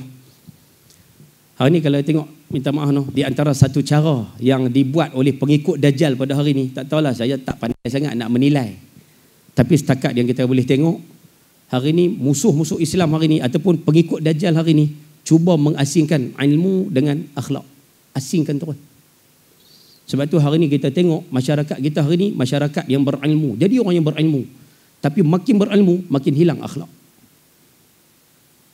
Saya buat contoh simpel-simpel sudah. Saya baru ni pergi Indonesia. Seminggu jalan dengan Al-Fadhil Tuan Guru Syekh Fahmi Zamzam. Kan apa timbalan apa Syekhul Ma'ahad Dirang. Antara tempat yang kami ziarah baru ni di belah Surabaya, bawa lah Surabaya dan Banjarmasin. Antara tempat yang kami pergi adalah di satu tempat nama Sidogiri. Tak tahu lah saya tak pernah sampai Indonesia kawasan Surabaya ni. Itu first time. Tapi rupanya bila sampai di sana, di satu pesantren di Sidogiri tu, pelajar dia hampir dekat 10 ribu orang. Pelajar, ramai. Rupanya jenis Indonesia ni pelajar-pelajar pengajian agamanya ramai.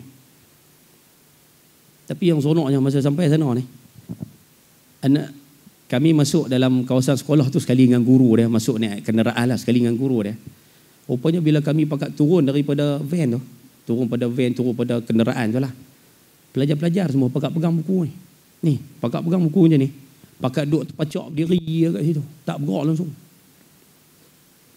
pacak berdiri kami pun pakat turun duduk bersembang duduk tengok siapa kali pertama sampai Kan duk tengok sekolah, tengok apa, tengok kompang. Tapi pelajar semua pakat duduk macam tu ya. Kalau ada satu orang, satu orang, semua duduk macam tu. Pakat duduk tunggu. Rupa-rupanya bila kami berjalan masuk dalam dewan, berjalan masuk dalam bangunan, baru mereka bergerak. Rupanya bila masuk dalam, tanya. Tanyalah kita je ni, tak pernah jumpa macam tu kan. Tanya. Rupanya bila tanya, mereka sebut, memang pelajar-pelajar di sini dididik dengan adab akhlak yang macam tu. Rupanya pelajar yang ada di sana dididik dengan adab yang macam tu. Depa habis sekolah, kadang periksa kan, habis-habis periksa, kitab depa susun. Susun kitab bagi elok. Bila tanya tu cara mereka menghormati kitab kan alat untuk ilmu ni depa hormat kitab susun bagi elok. Saya bila dengar cerita kata susun kitab bagi elok tu, saya duk teringat nak pelajar-pelajar kita di Malaysia. Cuba perhati tengok pelajar kita di Malaysia. Habis periksa SPM depa buat apa? Dulu angkat tayar motor, dululah. Ha, pakai duk ye ye seronok. Bila mai satu zaman depa baling kitab. Kan, habis-habis tu ambil buku tek mau lempak. Oh, kira kemah. Eh? Kalau universiti baling topi. Kan? Ha, ni baling kitab. Habis SPM baling kitab. Tapi lah hak baru pula kita jumpa. Habis periksa buat apa? Ambil kitab. Koyak tu. Eh. Ambil buku tek tu. Koyak tu. Eh. InsyaAllah. Minta maaf no, saya bahasa kasar dia lah. Jenis mengaji macam ni. InsyaAllah. Sampai mati benar. Oh. Kerajaan Turki Osmaniyah. Kerajaan Turki Osmaniyah ni. Mereka ada hari. Mereka akan kutip semua pen yang mana tak ada dakwat. Pen yang habis, pen yang rosak, pen yang tak ada apa ni. Pen ni. Mereka kutip semua. Mereka tanam. Ni. Betul Allah Ta'ala muliakan mereka. Betapa lama boleh berada atas muka bumi ni. Penghormatan mereka kepada adab ataupun kepada alat kepada ilmu. Ni, hormat dengan pen.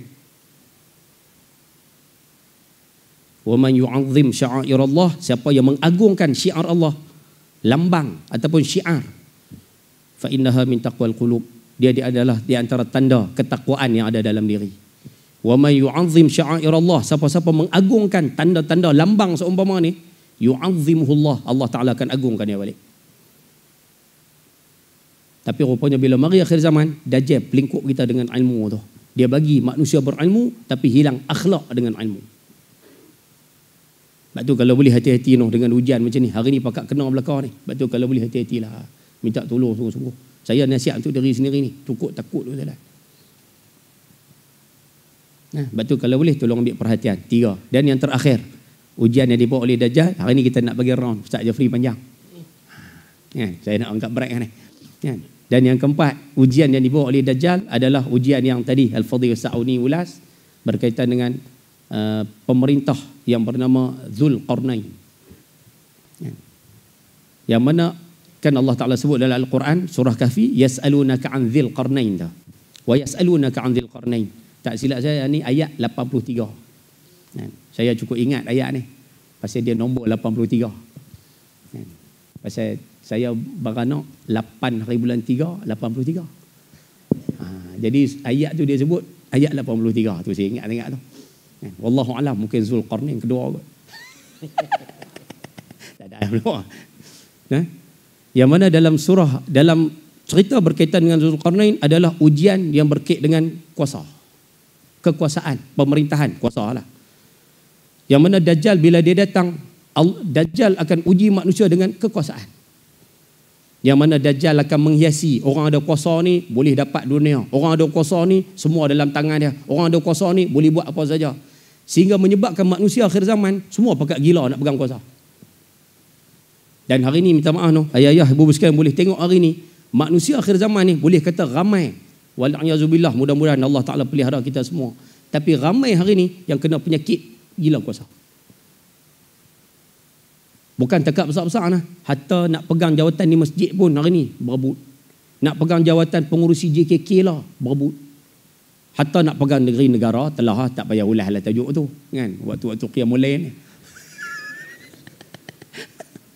Tapi nak sebut, cuba tengok satu suasana yang berlaku pada hari ni. Semua pegang gila nak pegang jawatan. Sebab apa? Mereka nampak jawatan itu nikmat. Nikmat. Kan baginda sallallahu alaihi wasallam sebut kan dalam hadis apa fa ni'mal murdi'atu wa bi'satil fatimatu. Orang pegang jawatan ni masa pegang jawatan memang nikmat. Masa pegang tu memang nikmat. Wa bi'satil fatimatu tapi bila putus isap susu tu maksudnya bila putus hilang jawatan tu masa tu dia teruk. Jadi manusia akhir zaman pakat gila pegang jawatan. Sedangkan sahabat dulu antaranya Sayyidina Abdul Rahman bin Auf sahabat yang kita dengar tokek kaya lah. Sayyidina Abdul Rahman bin Auf seorang sahabat yang kakinya tempang lah. Kaki tempang. Sebelum Sayyidina Osman dilentik jadi khalifah, sebelum Sayyidina Osman jadi khalifah nombor tiga, rupanya nama Sayyidina Abdul Rahman bin Auf naik dulu. Namanya naik dulu. Tapi masa namanya naik, dia kata apa? Dia kata macam ni. Dia kata, saya terjemah mudah no. Daripada kamu menyerahkan urusan khalifah ni pada aku, daripada lantik aku jadi khalifah, lebih baik kamu semua ambil pisau, kamu letakkan pisau di sini, di leher aku, dan kamu semua tekan pisau ini supaya tembus di sebelah satu lagi. Ambil pisau, tak di sini, tekan, biar keluar sebelah sini. Itu lebih baik bagi aku daripada menerima jawatan khalifah ni bahasa kampung kita bagi senang faham daripada berserah aku jawatan ni baik kamu bunuh aku. Biar aku mati lebih baik daripada terima jawatan ni. Al-Imam Abu Hanifah nak dilantik jawatan nombor dua paling tinggi dalam kerajaan. Tolak sampai kena seksa ulama-ulama dulu banyak tolak untuk memegang jawatan. Orang-orang yang soleh dulu banyak menolak meng, bahasa mudah kita sebut tak nak pada jawatan. Tapi bila diberi mereka pegang. Diberi mereka pegang. Tapi nak minta tak tapi akhir zaman Allah Ta'ala uji. Dajjal bawa satu keindahan untuk kita. Jawatan ni satu benda yang nikmat. Jadi kena rebut. Dan hari ni boleh dikatakan penyakit ni dah melanda setiap lapisan masyarakat semua hari ni pakat diuji dengan ujian jawatan. Dan inilah sebenarnya yang dibawa oleh Allah dalam suratul kahfi untuk disampaikan kepada kita. Ujian iman ujian harta, ujian ilmu, ujian kuasa. Boleh? Sebab tu kalau boleh, ambillah pengajaran daripada suratul kahfi dan kalau boleh balik nanti, tolong tengok ayat last suratul kahfi tu. Ayat last sekali. Satu pesanan yang sangat menarik daripada Allah Subhanahu Wa Taala. Allah Taala sebut, "Faman kana yarju liqa Allah." Maka barang siapa yang mengharapkan pertemuan dengan Allah. Eh, faman kana yarju liqa rabbih barang siapa yang mengharap pertemuan dengan Tuhannya falyamal amalan salihah maka buatlah amal soleh buatlah amal soleh dan yang hujung sekali yang tu yang paling mahal wala yusyrik bi ibadati rabbih ahada dan kamu jangan mensyirikkan Allah dengan mana-mana makhluk sekalipun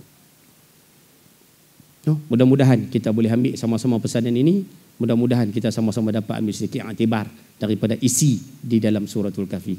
Saya saja tarik embrek nak bagi Ustaz Jafri Rabi. Insya-Allah no. Wallahu alam. Assalamualaikum warahmatullahi wabarakatuh. Waalaikumsalam.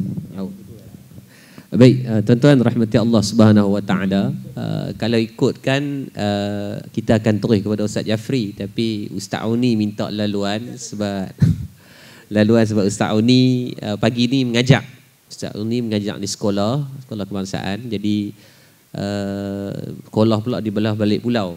Jadi Allahumma salli ala sayyidina dan atas keizinan dan uh, ni restu Al-Fadil ke kanda saya Al-Fadil Ustaz Jafri mengizinkan untuk ni sebab Ustaz Jafri kalau bercakap kira habis terus ya. Oh, dia kira habis apa penutup.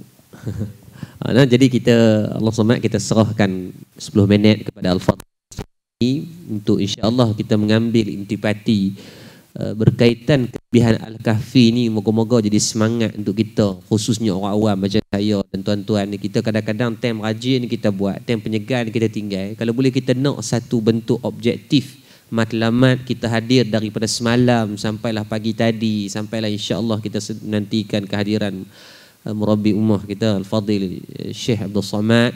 Maka kita nak sekurang-kurangnya kita balik ni ada satu bekalan yang sama-sama mana yang kita boleh bawa balik eh, dari daripada tu dengan kekuatan dan kefahaman ilmu mengambil daripada kelebihan Basrah Kafi jadi nak minta Al-Fadil Ustaz Auni bagi sedikit kepada kita. Al-Fadil Mashkur. Terima kasih kepada saudara pengurusi majlis seterusnya rakan-rakan ahli panel tuan-tuan puan-puan hadirin hadirat yang dirahmati sekalian. Suka saya menyebut saya tertarik dengan apa yang disebutkan oleh Ustaz Fawaz tadi tentang tiga surah. Tetapi mungkin ada sedikit perbezaan daripada yang saya terima guru-guru di Mesir dulu. Dia ada tiga surah yang rapat dan berkait, tiga serangkai. Yang dimulakan dengan surah An-Nahl. Selepas surah An-Nahl, dia pergi surah Al-Isra. Lepas surah Al-Isra, dia pergi surah Al-Kahfi. Yang inilah ulama-ulama guru-guru saya menyebut sebagai tiga surah perlambangan intelligent quotient yang kita panggil IQ. Yang kedua emotional quotient yang kita panggil EQ. Yang ketiga spiritual quotient yang kita panggil tahap kecerdasan spiritual. Dalam surah An-Nahlu cuba tuan-tuan buka, kita tengok banyak ayat-ayat yang berbentuk saintifik terutama penceritaan Allah tentang sejenis binatang yang bernama lebah. Yang tu menceritakan tentang tahap intelijen, kecerdasan seorang manusia. Bila kita pi pada surah Al-Isra tu, dia cerita pasal emosi, bagaimana kesedihan, jiwa dan hati seorang Rasulullah yang digembirakan oleh Allah Subhanahu wa taala dengan perjumpaan dan pertemuannya pada malam Isra dan Mi'raj. Ini tahap kematangan emosi seorang manusia paling tinggi high level sampai ke Sidratul Muntaha. Dan yang ketiga ialah ayat-ayat yang berbentuk spiritual quotient yang terkandung di dalam surah Al-Kahfi terutama Al-Kahfi Musa dan Khidir, Zulkarnain dan Ya'juj Ma'juj. Dan berbalik kepada apa yang disebutkan oleh Ustaz Fawaz, banyak betulnya kerana ulama-ulama generasi salaf telah meninggalkan kepada kita sejumlah rantaian kata-kata emas. Sebagai contoh ulama-ulama salaf menyebut ubtulina bid-dharra'i fasabarna wa ubtulina bis-sarra'i falam nasbir kita ni orang-orang agama terutama pendakwah ustaz-ustaz banyak kita dibala dan dimusibahkan diujiankan dengan kesusahan keperitan tapi kita mampu bersabar. Kita duduk dalam keadaan miskin sabar. Kita duduk dalam keadaan payah sabar. Benda-benda hak jenis susah kita boleh sabar. Tetapi wa ubtulina bisarra falam nasbir. Bila mari hak jenis senang-senang ni kita tak mampu nak lawan. Bila mari hak berbentuk glamour, bila mari hak berbentuk jawatan, bila mari hak berbentuk level, bila mari hak berbentuk harta, bila mari hak berbentuk duit, bila mari hak berbentuk ringgit ni ramai yang berselerak, ramai yang tertipu, ramai yang terpedaya. Hak tang susah kita semua mampu sabar. Tapi mari hak bentuk-bentuk macam ni, serban pun jatuh, kopiah pun tercabut. Banyak ini berlaku juga di kalangan rakan-rakan kita. Dan satu lagi saya nak sebut apa yang disebutkan oleh sahabat Abu Sa'id Al-Khudri. Ini satu vision yang cukup besar. Yang mana apa yang disebutkan oleh Abu, Abu Sa'id Al-Khudri, dia kata kami hidup dengan Rasulullah dulu walaupun kami ni orang Arab dan Quran turun ni dalam bahasa Arab tapi kami nak mengapai Quran tu cukup susah cukup payah. Orang Arab dia klaim dia dakwa bahasa Al-Quran tu Arab dia sendiri nak mengapai pun payah. Walaupun kami nak mengapai Quran ni payah susah tapi Allah bagi senang dari sudut untuk kami mengamalkan isi-isi Quran. Mengapai payah tapi Allah bagi mudah kami nak mengamal isi Quran. Dan ini akan terjadi sebaliknya bila masa depan akan datang. Betul tuan-tuan jadi pada zaman kita mengapai Quran tu senang. Kita ramai anak-anak tafiz bukan masuk anak nak menafi dan melecehkan orang yang hafal Quran tak. Nak cakap kita hari ni kalau nak sebut jumlah ratusan beribu. Nak sebut ribu berpuluh ribu. Nak sebut puluh ribu mungkin ratus ribu orang hafal Quran. Tapi nak cari daripada penghafal-penghafal yang benar mengamalkan Quran dia jadi susah. Dia jadi terbalik kita baca Quran, nak amal Quran payah. Kita hafal Quran, nak amal Quran payah. Apapun kembali kepada poin Al-Kahfi tuan-tuan, sebenarnya Allah nak kita memiliki satu benda yang cukup penting iaitu quality. Allah mementingkan quality bukan kuantiti. Sebenarnya banyak isu kuantiti yang Allah bicarakan pada awal-awal surah Al-Kahfi. Tetapi manusia sering bergaduh, manusia sering berkhilaf, manusia sering berbalah tentang isu kuantiti bukan kualiti. Sebagai contoh yang pertama, bila Allah menyebutkan tentang bilangan, Ashabul Kahfi kan, dalam tu Allah sendiri sebut, ada golongan yang sebut tiga, empat termasuk anjing. Ada yang Allah sebut lima, enam termasuk anjing. Ada golongan yang menyebut tujuh, ada yang termasuk anjing. Ini adalah gambaran-gambaran yang akan berlaku pada zaman kita. Tujuan kualiti ialah kita beriman dengan pemuda-pemuda Ashabul Kahfi tanpa kita menghiraukan berapa pun jumlah dia. Itu tidak jadi kepentingan bagi kita pun. Jadi kisah dan iktibar di sebalik pemuda-pemuda tadi, kualiti itu yang kita nak bawa dalam hidup. Begitu juga kualiti anjing tu yang kita nak bawa dalam hidup. Tetapi hari ini hak kita duk bergaduh bukan ambil ibrah kisah tu. Hak kita duk bergaduh pendapat aku paling benar tiga orang. Pendapat golongan ni paling betul lima orang. Pendapat golongan ni paling tepat tujuh orang. Duk bergaduh. Walhalnya jumlah yang sebenar kita sendiri pun tak tahu. Berapa orang yang sebenarnya secara hakikat tetapi itulah yang terjadi di kalangan kita hari ini sibuk bergaduh soal kuantiti itu bukan lagi berkisah soal nama.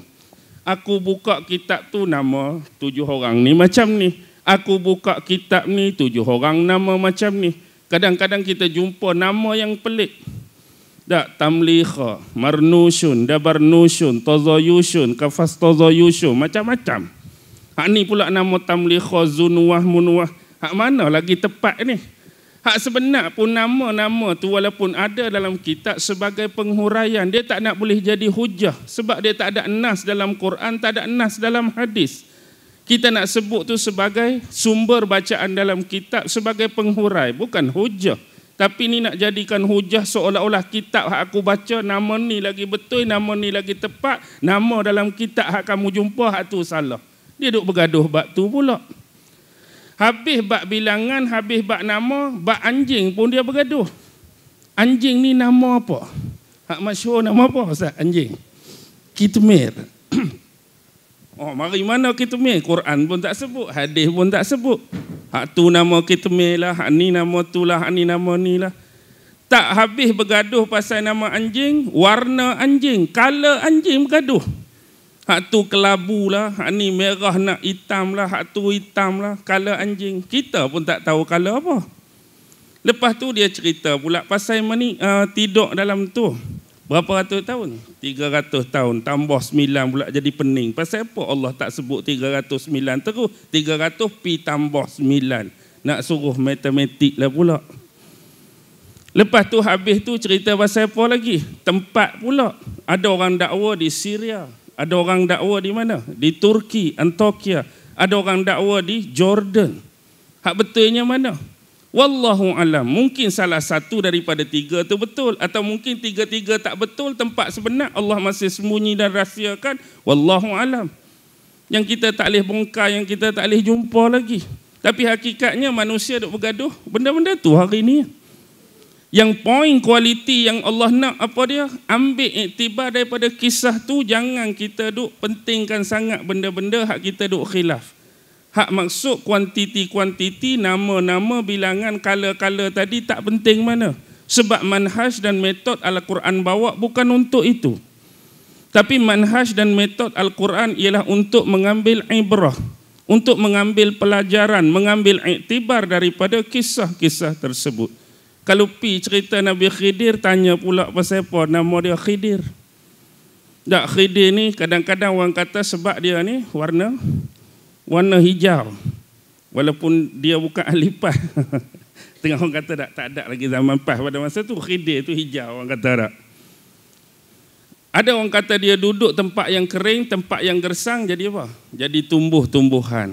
Dinamakan manusia hijau Khidir. Lepas tu duk berbalah nama pula kita jumpa dalam kitab Balia bin Malkan bin Falih bin Shalih bin Abir bin Arfaksyak bin Sam bin Nuh. Ani pula nama jalil tu. Ani pula nasab ni. Hanu pula keturunan tu duk bergaduh. Dan ada pula kata Nabi Khidir ni siapa sebenarnya? Ada kata Nabi Ilyas. Ada kata Nabi Uzair. Khidir tu tak ada nama sebenarnya. Tak tahu hak mana. Jadi panduan-panduan macam ni menyebabkan kita bergaduh dan bukan isu utama pun. Patut paling penting hari ni Khidir hidup lagi ke dah mati? Khidir hidup lagi ke dah mati? Oh, Ustaz Fawaz saya tanya depan terus ni, hidup lagi ke mati dah? Ha, ikut Ustaz Fawaz lah. Ada lagi, Ustaz Jafri? sependapat ada lagi. Ha, dua orang ni kata ada. Kita jumpa orang lain kata dah tak ada. Adalah dalil-dalil dia. Ha, ni pula adalah hujah-hujah dia. Kita bukan nak bergaduh pasal itu pun tak penting. Yang penting ibrah Musa dengan Khidir iswat. Apa dia? Hak kita nak bawa. Dan dalam tu banyaklah benda-benda yang kita kata bersifat spiritual, pelik, melangkaui adah yang kita tak boleh nak fikir pun.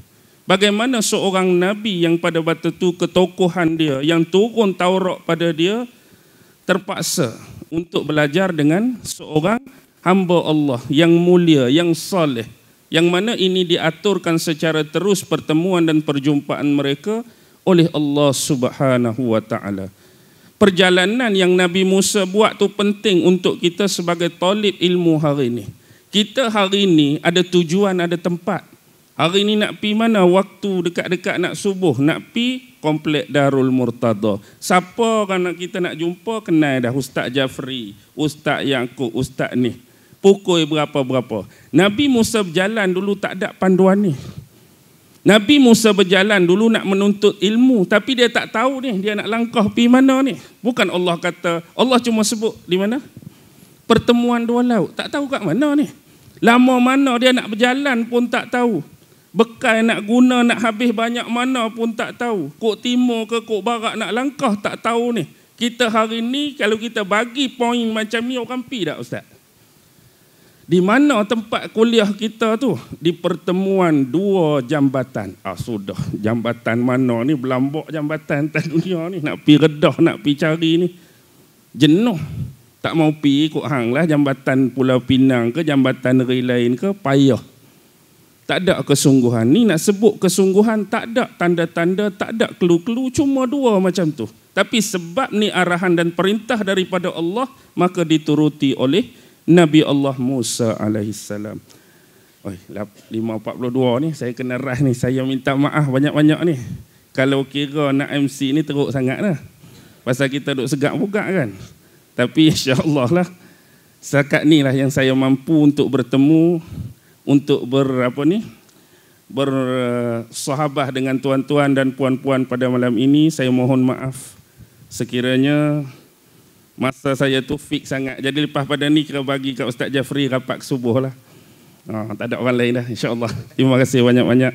Assalamualaikum warahmatullahi taala wabarakatuh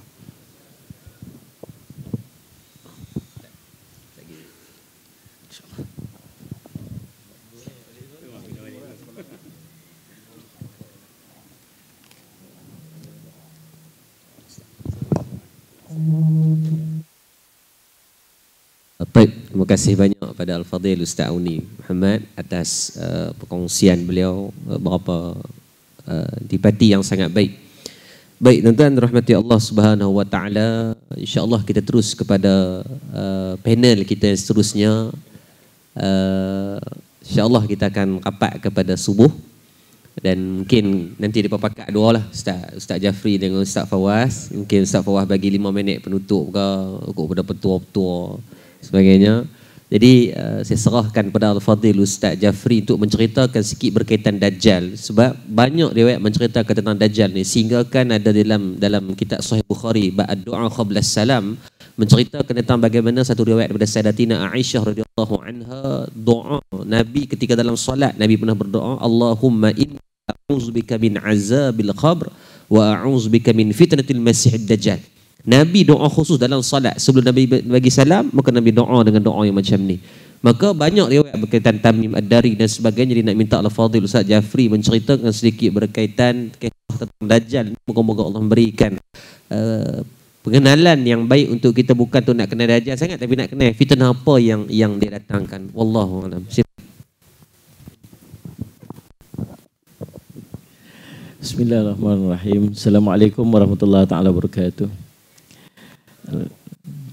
Salam pun tak pernah bunyi dah. Tunggu lama. Tak lena tunggu. Alhamdulillah Rabbil Alamin Wassalatu wassalamu ala rasulil amin Sayyidina Muhammadin wa ala alihi wassallam ajma'in Subhanaka la ilma lana illa ma'alamtana Innaka antal alimul hakim Rabbi syrah li sadri wa yassir li amri wa halun uqdatan min lisani yafqahu qawli. Wa la hawla wa la quwwata illa billah al-aliyil azim. Amma. Hormati Ustaz Adinda Yaakob Yusra, Ustaz uh, Auni masyhur ni dengan flat earth. tak pasal-pasal kena flat earth nama dia ni. Men, men. Ala kulli hal Allah bagi kelebihan kepada Ustaz Uni sangat hebat masya-Allah. Kemudian uh, Ustaz uh, Fawaz uh, pakar dajjal. Zulkarnain pemilik dua. Tentu ada pembahasan hadrat yang dirahmati sekalian. Alhamdulillah puji syukur kita Allah SWT dengan limpah kurnia yang taufik di sisi Allah kita dipertemukan pada pagi yang penuh dengan keberkatan ini mudah-mudahan pertemuan kita diberkati oleh Allah taala. Um, Salli ala Sayyidina Muhammad kami bincang tadi tentang perbincangan-perbincangan yang akan kita bincangkan dalam uh, forum kita pada pagi ini nak nak bagi orang jaga pukul 4 pagi ini bukan senang tuan. Oh subhanallah. Tadi saya tengok tuan-tuan masya-Allah fokus fokus sungguh-sungguh lah subhanallah. Tambah waktu Ustaz Uni bercakap tu saya nampak tu fokus sangat. Tambah-tambah waktu Ustaz Fawaz lagi tuan fokus sampai Ustaz Fawaz tanya, "Siapa diam ni?" Awak diam. Faham kan ni? Ha begitu. Jadi semua Allah tuan Ustaz lepas-lepas Ustaz cakap ni tuan-tuan nampak nampak kecenderungan untuk tidur tu ada. Macam mana nak cerita ni supaya subhanallah sallallahu alaihi Muhammad kita boleh faham apa yang nak kita bincangkan pada hari ini. Maka subhanallah dimintakan kepada saya untuk bincang tentang satu hadis yang panjang yang sallallahu alaihi wasallam Muhammad uh, telah disampaikan kepada kita diriwayatkan kepada kita oleh uh, Imam Muslim um, alaihi wasallam Muhammad tentang hadis Fatimah binti Qais radhiyallahu anha yang menceritakan tentang bagaimana satu hari Nabi SAW panggil para sahabat untuk berimpun selepas daripada solat. Dan Nabi SAW menceritakan tentang apa yang berlaku kepada seorang sahabat yang akhirnya dia masuk Islam yang sebelumnya dia daripada orang-orang daripada orang Nasrani yang dia bersebuka secara langsung dengan Dajjal. Langsung sahabat Nabi SAW namanya Abu Ruqayyah Tamim Ad-Dari radhiyallahu an. Yang dia ni subhanallah Allah takdirkan daripada kalangan umat Nabi Muhammad SAW dia di antara yang dapat melihat Dajjal direct, melihat secara langsung siapa itu Dajjal. Dan daripada dia lah subhanallah dia menyampaikan ilmu kepada baginda Nabi SAW tentang tanda-tanda yang Dajjal ni sebelum Dajjal nak muncul apakah tanda-tanda dia. Dan Allah izinkan saya tuan-tuan subhanallah dalam program-program TV beberapa, beberapa ketika dulu Salih Simat dan ada uh, um, Salih Simat lawatan saya sebagainya. Saya pergi tengok sendiri tempat yang disebutkan oleh oleh Dajjal ini Salih Alaihi Muhammad bagaimana keadaannya di akhir zaman sebagai tanda untuk dia keluar. Baik, tuan-tuan yang dirahmati oleh sekalian, Nabi SAW cerita bahawa sahabat ini bersama dengan 30 orang daripada kelompok dia, mereka bermusafir, mereka berlayar. Kemudian dihempas dengan ombak yang kuat, ribut di dalam laut, kemudian terhempas, terdampar di satu pulau. Pulau yang tidak diceritakan dekat mana tempat dia. Nabi SAW pun tunjuk Salih Aziman Kemudian tuan-tuan bila terdampar di pulau tu Mereka terjumpa dengan satu makhluk yang berbulu panjang. Sampai tak kenal mana depan dan mana belakang dia. Lalu ditanya siapa kamu? Dia kata aku Ajasas. Siapa Ajasas tu? Dia kata kamu Ada seorang lelaki sedang menunggu kamu Nak berjumpa kamu. Dia pakai heranan tuan-tuan dan dia cepat-cepat berlari daripada Ajasas ni sebab dia kata kami takut dia ini syaitan kata dengan seorang lelaki-lelaki yang tubuhnya besar yang kita kami tak pernah tengok manusia tubuh besar. Dan tubuhnya tegap yang kami tak pernah tengok manusia setegap ni. Dia dipasung diikat dengan besi di tangan dia dengan leher dia dan daripada kaki sampai ke buku lali dia diikat dengan besi dipasung dengan besi lalu subhanallah lelaki tersebut pun bertanya kamu siapa dia pun cerita kami ni orang Arab, kami belayak sebagainya terempah di sini jumpa dengan jasa sebagainya. Dia pun tanya kamu tu siapa? Kita kamu akan tahu tentang aku sebentar lagi. Lalu dia pun cerita, dia pun tanya empat soalan. Yang empat soalan ni akan menjadi tanda dia akan dibangkitkan, dia akan dikeluarkan, dilepaskan. Yang pertama dia kata ceritakan kepada aku tentang mata air zagar. Eh, ceritakan kepada aku tentang kebun tamar di Bisan. Apakah masih ada buahnya? Ini kita ya buahnya masih ada. Sebentar lagi buahnya akan habis. Saya singgah ke Bisan ini tuan-tuan ataupun Bekshan dalam bahasa dah Israel dah tawan tempat tu, jajah tempat tu dan lain tuan-tuan populationnya population hampir keseluruhannya daripada orang-orang Yahudi Israel. Dan tuan-tuan, dia ni merupakan satu tempat yang sangat subur. Duduk bersempadanan dengan Salih Allah Syed Muhammad uh, Jordan. Dekat dengan sempadan Jordan. Tempat yang sangat subur. Lembah, valley yang sangat subur. Dan dulu ni tuan-tuan, memang tempat itu tempat tanaman kurma yang sangat luas. Milik daripada orang-orang Islam. Selepas dijajah, orang Islam ramai keluar dan dipindahkan ke tempat pelarian-pelarian dan kawasan-kawasan itu semua telah diambil alih oleh orang Israel. Tuan-tuan, saya pi nak tengok sendiri betul ke pokok kurma tu dah habis? Dah tak ada. Tuan-tuan, saya nak beritahu, apa yang berlaku? Bukanlah disebabkan kering pokok kurma tu habis. Tapi apa yang berlaku ialah pokok-pokok kurma dan ladang-ladang kurma milik orang Islam itu telah ditebang, digondolkan dan digantikan dengan pokok-pokok tanaman-tanaman yang lain. Bila tuan-tuan masuk sahaja, mula-mula sekali masuk masuk ke Bishan, Bishan ataupun Bisan. Selepas daripada tuan-tuan melalui Tasik Tobariah yang sangat luas, lepas lepas lepas lintas lintas Tasik Tobariah tuan-tuan akan berjumpa dengan Bisan ni. Masuk-masuk tuan-tuan jumpa ladang pisang yang sangat luas. Sangat luas. Ladang pisang. Valley of bananas dia panggil. Ladang pisang sangat luas. Kemudian tuan akan jumpa dengan ladang oren bertukal. Tuan akan jumpa dengan ladang avocado. Ladang-ladang yang sangat luas, yang sangat besar. Sebab apa? Sebab tempat itu tempat subur. Punca airnya, punca airnya ialah daripada Tobariah itu sendiri. Mana ladang-ladang kurma? Habis. Dah tinggal sikit-sikit ladang kurma. Sikit-sikit je. Itu pun milik orang Israel. Lalu tuan-tuan subhanallah. Dan takdir juga berlaku pada tahun 2012. Kalau tak salah saya. Bila tim jejak Rasul sampai dekat sana. Saya tim ayat riwayat. TV Hijrah. Yang ni tim jejak Rasul sampai. Tuan-tuan, takdirnya waktu mereka sampai. Ada binatang yang serang pokok-pokok kurma yang berbaki itu yang menyebabkan pokok-pokok kurma itu ada di kalangan ada di antaranya mati dan ada yang sudah tidak berbuah lagi. Jadi tuan-tuan itu tik tanda pertama yang berlaku membenarkan kata Salih Semat tanda nak keluarnya si Dajjal ni.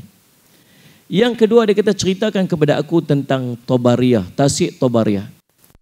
Apakah masih ada airnya? Sahabat ni kata ya masih ada airnya. Dia kata sebentar lagi airnya akan habis. Pun dah sampai ke Tasik Tobariah ni tuan-tuan. Nah ni nama dia Sea of Galilee.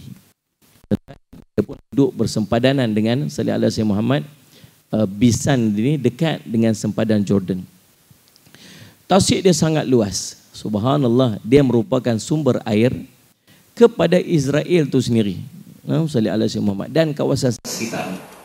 Termasuk perjanjian dengan Israel dan Jordan yang berkongsi sumber air ni Israel akan hantar sebahagian daripada salih alaihi wasallam air ni kepada Jordan sebagai salah satu bentuk perjanjian yang telah berlangsung sekian lama.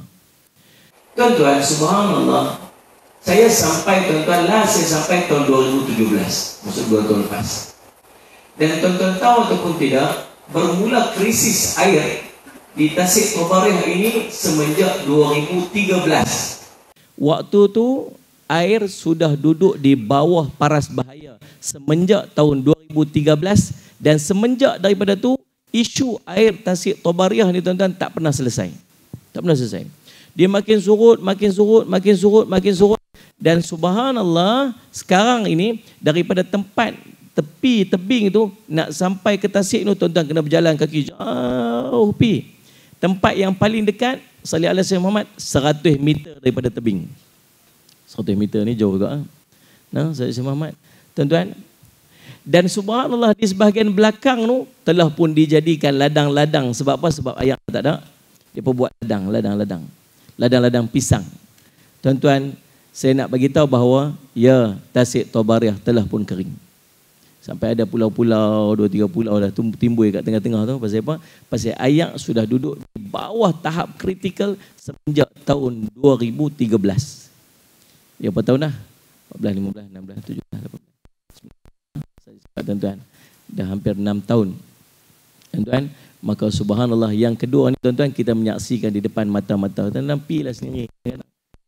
Nak berasa kadang duduk bercakap-bercakap saja tak rasa pi tengok pegang sendiri ayat tu tengok macam mana suasana dia subhanallah jauh ke dalam tuan-tuan yang kedua alaihi wasallam Muhammad saya takjub dengan apa yang Nabi SAW cerita. Tuan-tuan tahu ataupun tidak? Dia satu tempat tuan-tuan. Di sallallahu alaihi wasallam Muhammad. Sallallahu alaihi wasallam Muhammad. Uh, dekat uh, ni kita panggil Tel Aviv. Dulu nama Yafa Tel Aviv ini tuan Jaffa ni dia duduk bersempadanan dengan satu tempat yang Nabi SAW sebut spesifik dalam hadis akhir zaman kaitan dengan Dajjal iaitulah nama tempat tu Lut. Ataupun kita sebut sebagai gerbang Lut. Ini susah kat bercakap dengan pakar Dajjal kat sebelah ni. Risau juga. Ustaz kalau silap bagi kita. Kan selalu. Saya tuan-tuan seronok forum dengan Ustaz Fawah ni. Kalau Ustaz Fawah, forum dengan Ustaz Fawah ni orang ramai mai. Pukul 4 pagi pun main pasal dia. saya kalau saya forum biasa lah 8 10 orang gitu ya. Tapi kalau ada Ustaz Fawah Allah ramai semua seronok ya tumpah syafaat. ni. kan selalu jumpa dia. Tuan-tuan salih Allah saya Muhammad. Allahumma salli semua. Ada satu tempat tuan nama Yafa. Yafa ni bersebelahan dengan Lut. Lut ni satu tempat yang Nabi SAW cerita akan berlaku pertemuan di antara uh, Nabi Isa AS dengan Dajjal. Dan di situlah Dajjal ni akan mencair macam garam yang kena air. Kata Nabi SAW. Nabi bila bertemu dengan dengan Nabi Isa AS. Nabi Isa, Nabi Isa tak tak pitikam dia. Dah bertemu saja dia dah cair lah. Dekat mana satu tempat nama gerbang Lut. Lut ini tuan-tuan takdirnya bersebelahan dengan Yafa. Yafa ni kalau kita sebut kita tak kenal. Pasal Yafa ni sekarang ni kita disebut sebagai Tel Aviv. Dan di Tel Aviv ini tuan-tuan, subhanallah, dekat sempadan dengan Lut ini, dekat tak jo. Tel Aviv ni luas, makin besar, makin besar sebab ramai orang-orang Yahudi seluruh dunia semua pekat turun mai duduk berimpun sampai dah overcrowded. Tak overcrowded. Terlampau ramai dah. Pasal apa yang overcrowded? Pasal apa ramai sangat? Semua nak pergi berebut duduk dalam tu. Pasal apa? Pasal di situlah mereka duk jangka akan munculnya the savior. Si penyelamat mereka ni. Siapa dia? Dajjal. Dan di situ tuan-tuan dibuat satu lapangan terbang terbesar Israel. Dekat mana? Dekat situ. Sebelah Gebang Lut. Jadi tuan-tuan tengok macam mana Nabi SAW duduk cerita dan kita akhir zaman menyaksikan kebenaran kata-kata Nabi SAW. Tuan-tuan, saya pernah dengar guru saya cerita. Ustaz Fawaz Makjan. yang, yang memetik hadis Nabi SAW. Yang macam selalu tuan-tuan bagi cana. Yang subhanallah yang Dajjal ini akan bergerak menggunakan kenderaan yang Nabi SAW sebut yang telinganya panjang sallallahu alaihi Muhammad dan dia bergerak seperti awan yang ditiup angin. Maka guru saya kata, Ustaz Fawaz Makjan, dia menyebutkan bahawa subhanallah sallallahu bahasa kita akhir zaman ni tuan-tuan, yang kita faham mungkin dia kapal terbang. Dan relatednya tuan-tuan, apa yang mereka buatlah ni, mereka sediakan lapangan terbang sebelah dengan gerbang Lut tu. Jadi tuan-tuan nampak ada signifikan dia. Saya nampak satu benda yang saya kata tuan-tuan. Waktu saya duduk ada kat sana, dalam hati saya, saya kata apa. Dia macam satu jigsaw puzzle yang besar dan susunan tu hampir sempurna dah. Dia menyusun tu cantik je macam yang Nabi SAW sebut. Maka tuan-tuan dan semua orang depa duduk standby dekat sana. Orang Yahudi ramai standby dekat sana. Ada satu tempat lagi Baitul Maqdis yang depa duduk berebut. Tapi depa tak tak berminat sangat nak pergi duduk dekat Baitul Maqdis. Dia duduk berebut nak pergi duduk dekat yang namanya Tel Aviv. Tuan-tuan sekalian. Pasal apa? Pasal dia dekat dengan Salih Asyamat tempat kemunculan the savior si penyelamat dia tu. Tuan-tuan subhanallah salli ala sayyidina Muhammad. Maka yang keduanya tasik Tobariah tu dah sampai sekarang ni dah kering tuan-tuan. Bukan kering langsung, dah hampir kering duduk di bawah paras bahaya sampai isu dia ni tuan-tuan ialah air itu dah tak berapa nak bersih pasal yang tinggal itu hanya keladak bawah ya. Yang ketiga, kata lelaki tersebut, dia kata ceritakan kepada aku tentang mata air zakar. Mata air zakar ini tuan-tuan, ulama duk khilaf tang mana lokasi sebenarnya sebab nama tu tak pakai lama dah. Nama tu tak pakai lama dah. Cuma ada seorang ulama yang kata mata air zakar ini sebenarnya duduk di selatan, duduk di bawah Salih Al-Jamat Tasik Tobariah itu yang namanya tempat tu Ain Sultan, Ain Sultan. Dekat dengan satu tempat Salih Allah Muhammad nama uh, Salih Allah Muhammad apa nama tempat dia? Salih Muhammad dekat Palestin. Dan dulu tempat itu dijadikan sebagai tempat perhimpunan orang-orang pelarian dan jumlah pada tahun 1964 waktu waktu berhimpun semua orang kat situ tuan-tuan. 23 ribu orang. Dan sekarang ini pelarian itu yang duduk dekat situ hanya sekitar 1700 orang. Sebab apa? sebab sumber air tempat tu dah kering.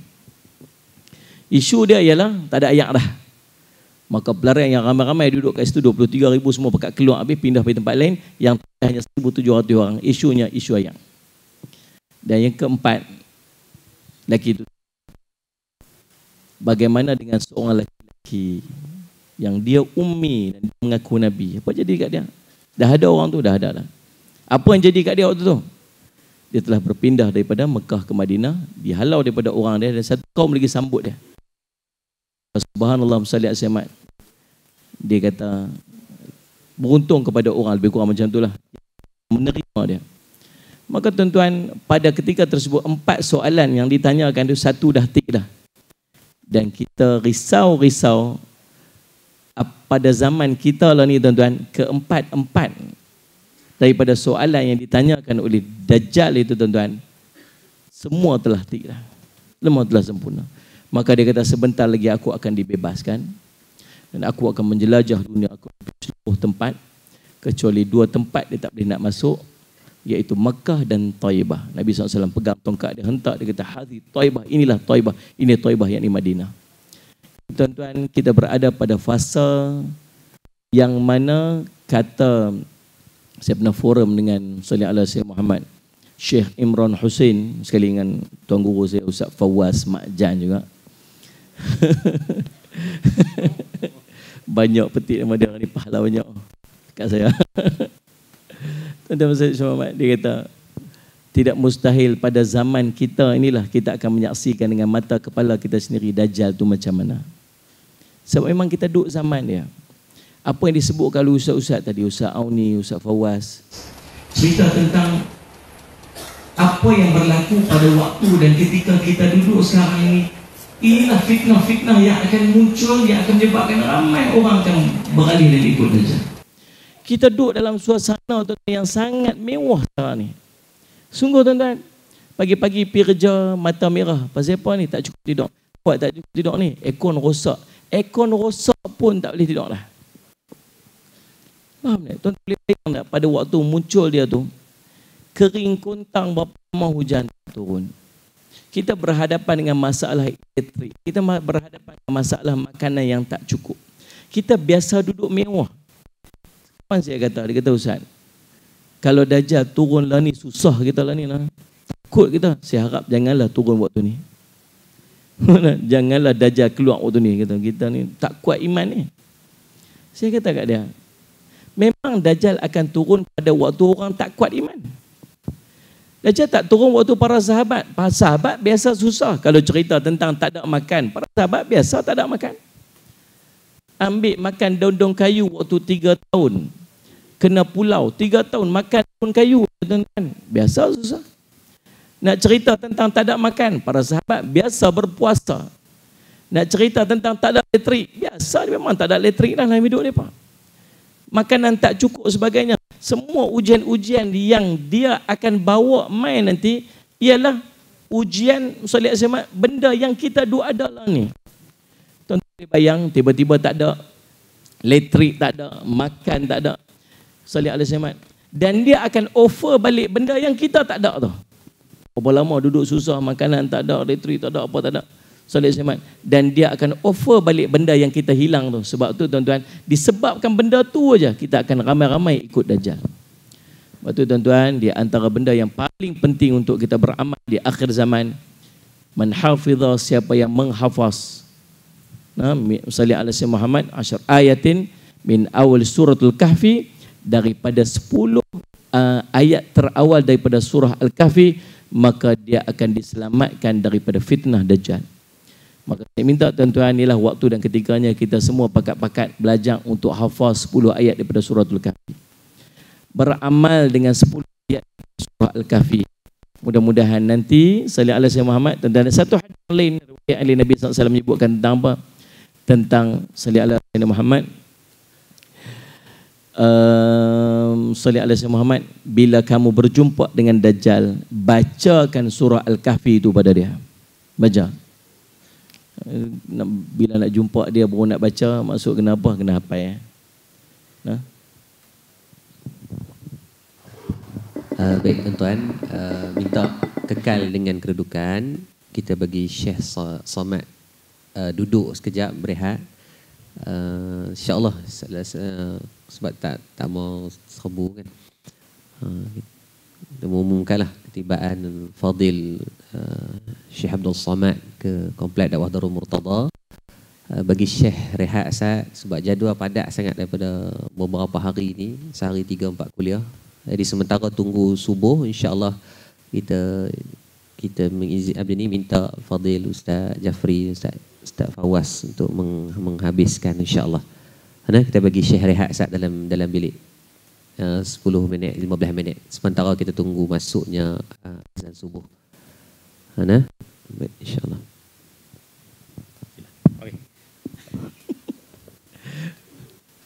Baiklah ingat yang pertama 10 ayat daripada suratul kahfi hafaz hafaz yang kedua tuan-tuan sekalian salli ala Muhammad beramal setiap hari Jumaat. Yang ketiga, salli ala Muhammad tuan-tuan yang ulama sebut. Kalau mampu, kalau mampu bila dajjal muncul di tempat kamu, larikan diri. Keluar kamu daripada situ. Salli ala Muhammad. Tapi tuan-tuan kita takut kita tak mampu nak keluar waktu tu dengan lapaknya, dengan tak ada apanya, dengan kesusahan kita. Kita takut kita tak mampu untuk keluar. Yang keempat kata ulama, pi duduk di tempat yang namanya Mekah ataupun Madinah. Ini lagi lah. Bahkan orang dekat Madinah pun bila munculnya Dajjal, dia akan keluar daripada Dajjal. Eh, daripada, keluar daripada Madinah. Siapa? Orang-orang munafik. Dan yang kelima tuan-tuan, banyakkan berdoa. Macam sebutkan tadi, Allahumma inna na'u Allahumma inni a'udzubika min azab jahannam min azabil qabr fitnatil mahya wal mamat min fitnatil masihid dajjal baca pada setiap kali kita duduk pada tasyahud akhir sebelum kita bagi salam Selepas baca tasyahud akhir innaka hamidun majid baca doa ni kemudian barulah kita bagi salam. Insya-Allah mudah-mudahan tuan-tuan dengan amalan-amalan kita tu salli alaihi wasallam Allah akan menjauhkan kita daripada fitnah yang namanya fitnah dajjal dan kuncu-kuncu dajjal yang bertebaran salli alaihi wasallam sebelum munculnya dajjal ini. Wallahu subhanahu wa taala alam saya serah balik kepada dan sebelum tu saya nak buat pengumuman satu ya insya-Allah tuan-tuan saya nak jemput tuan-tuan semua mai ke madrasah saya. Kompleks Islam Darul Faizin Bandar Baru Kedah sana ini, ini Kedah Utara kan kami Kedah Selatan.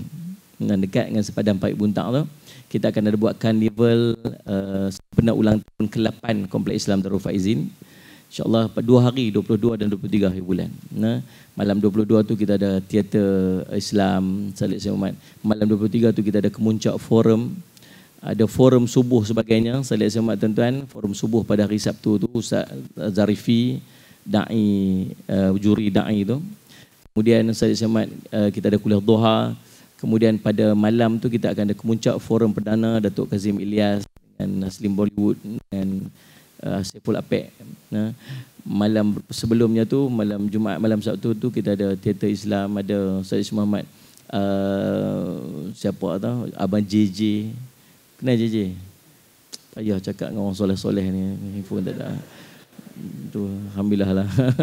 Kemudian Ustaz Jamal tuan-tuan uh, kita ada apa ni sepatutnya abang Nasir bila Khan pun sama tapi ujung last minute tak sempat start tak boleh nak join sekali. Apa yang lain lah. Ana Ustaz Jamal tuan-tuan saya jemput semua tuan-tuan untuk hadir 22 23 hari bulan ni di di Islam Darul Faizin di Bandar Baru Kedah insya-Allah. A'lam.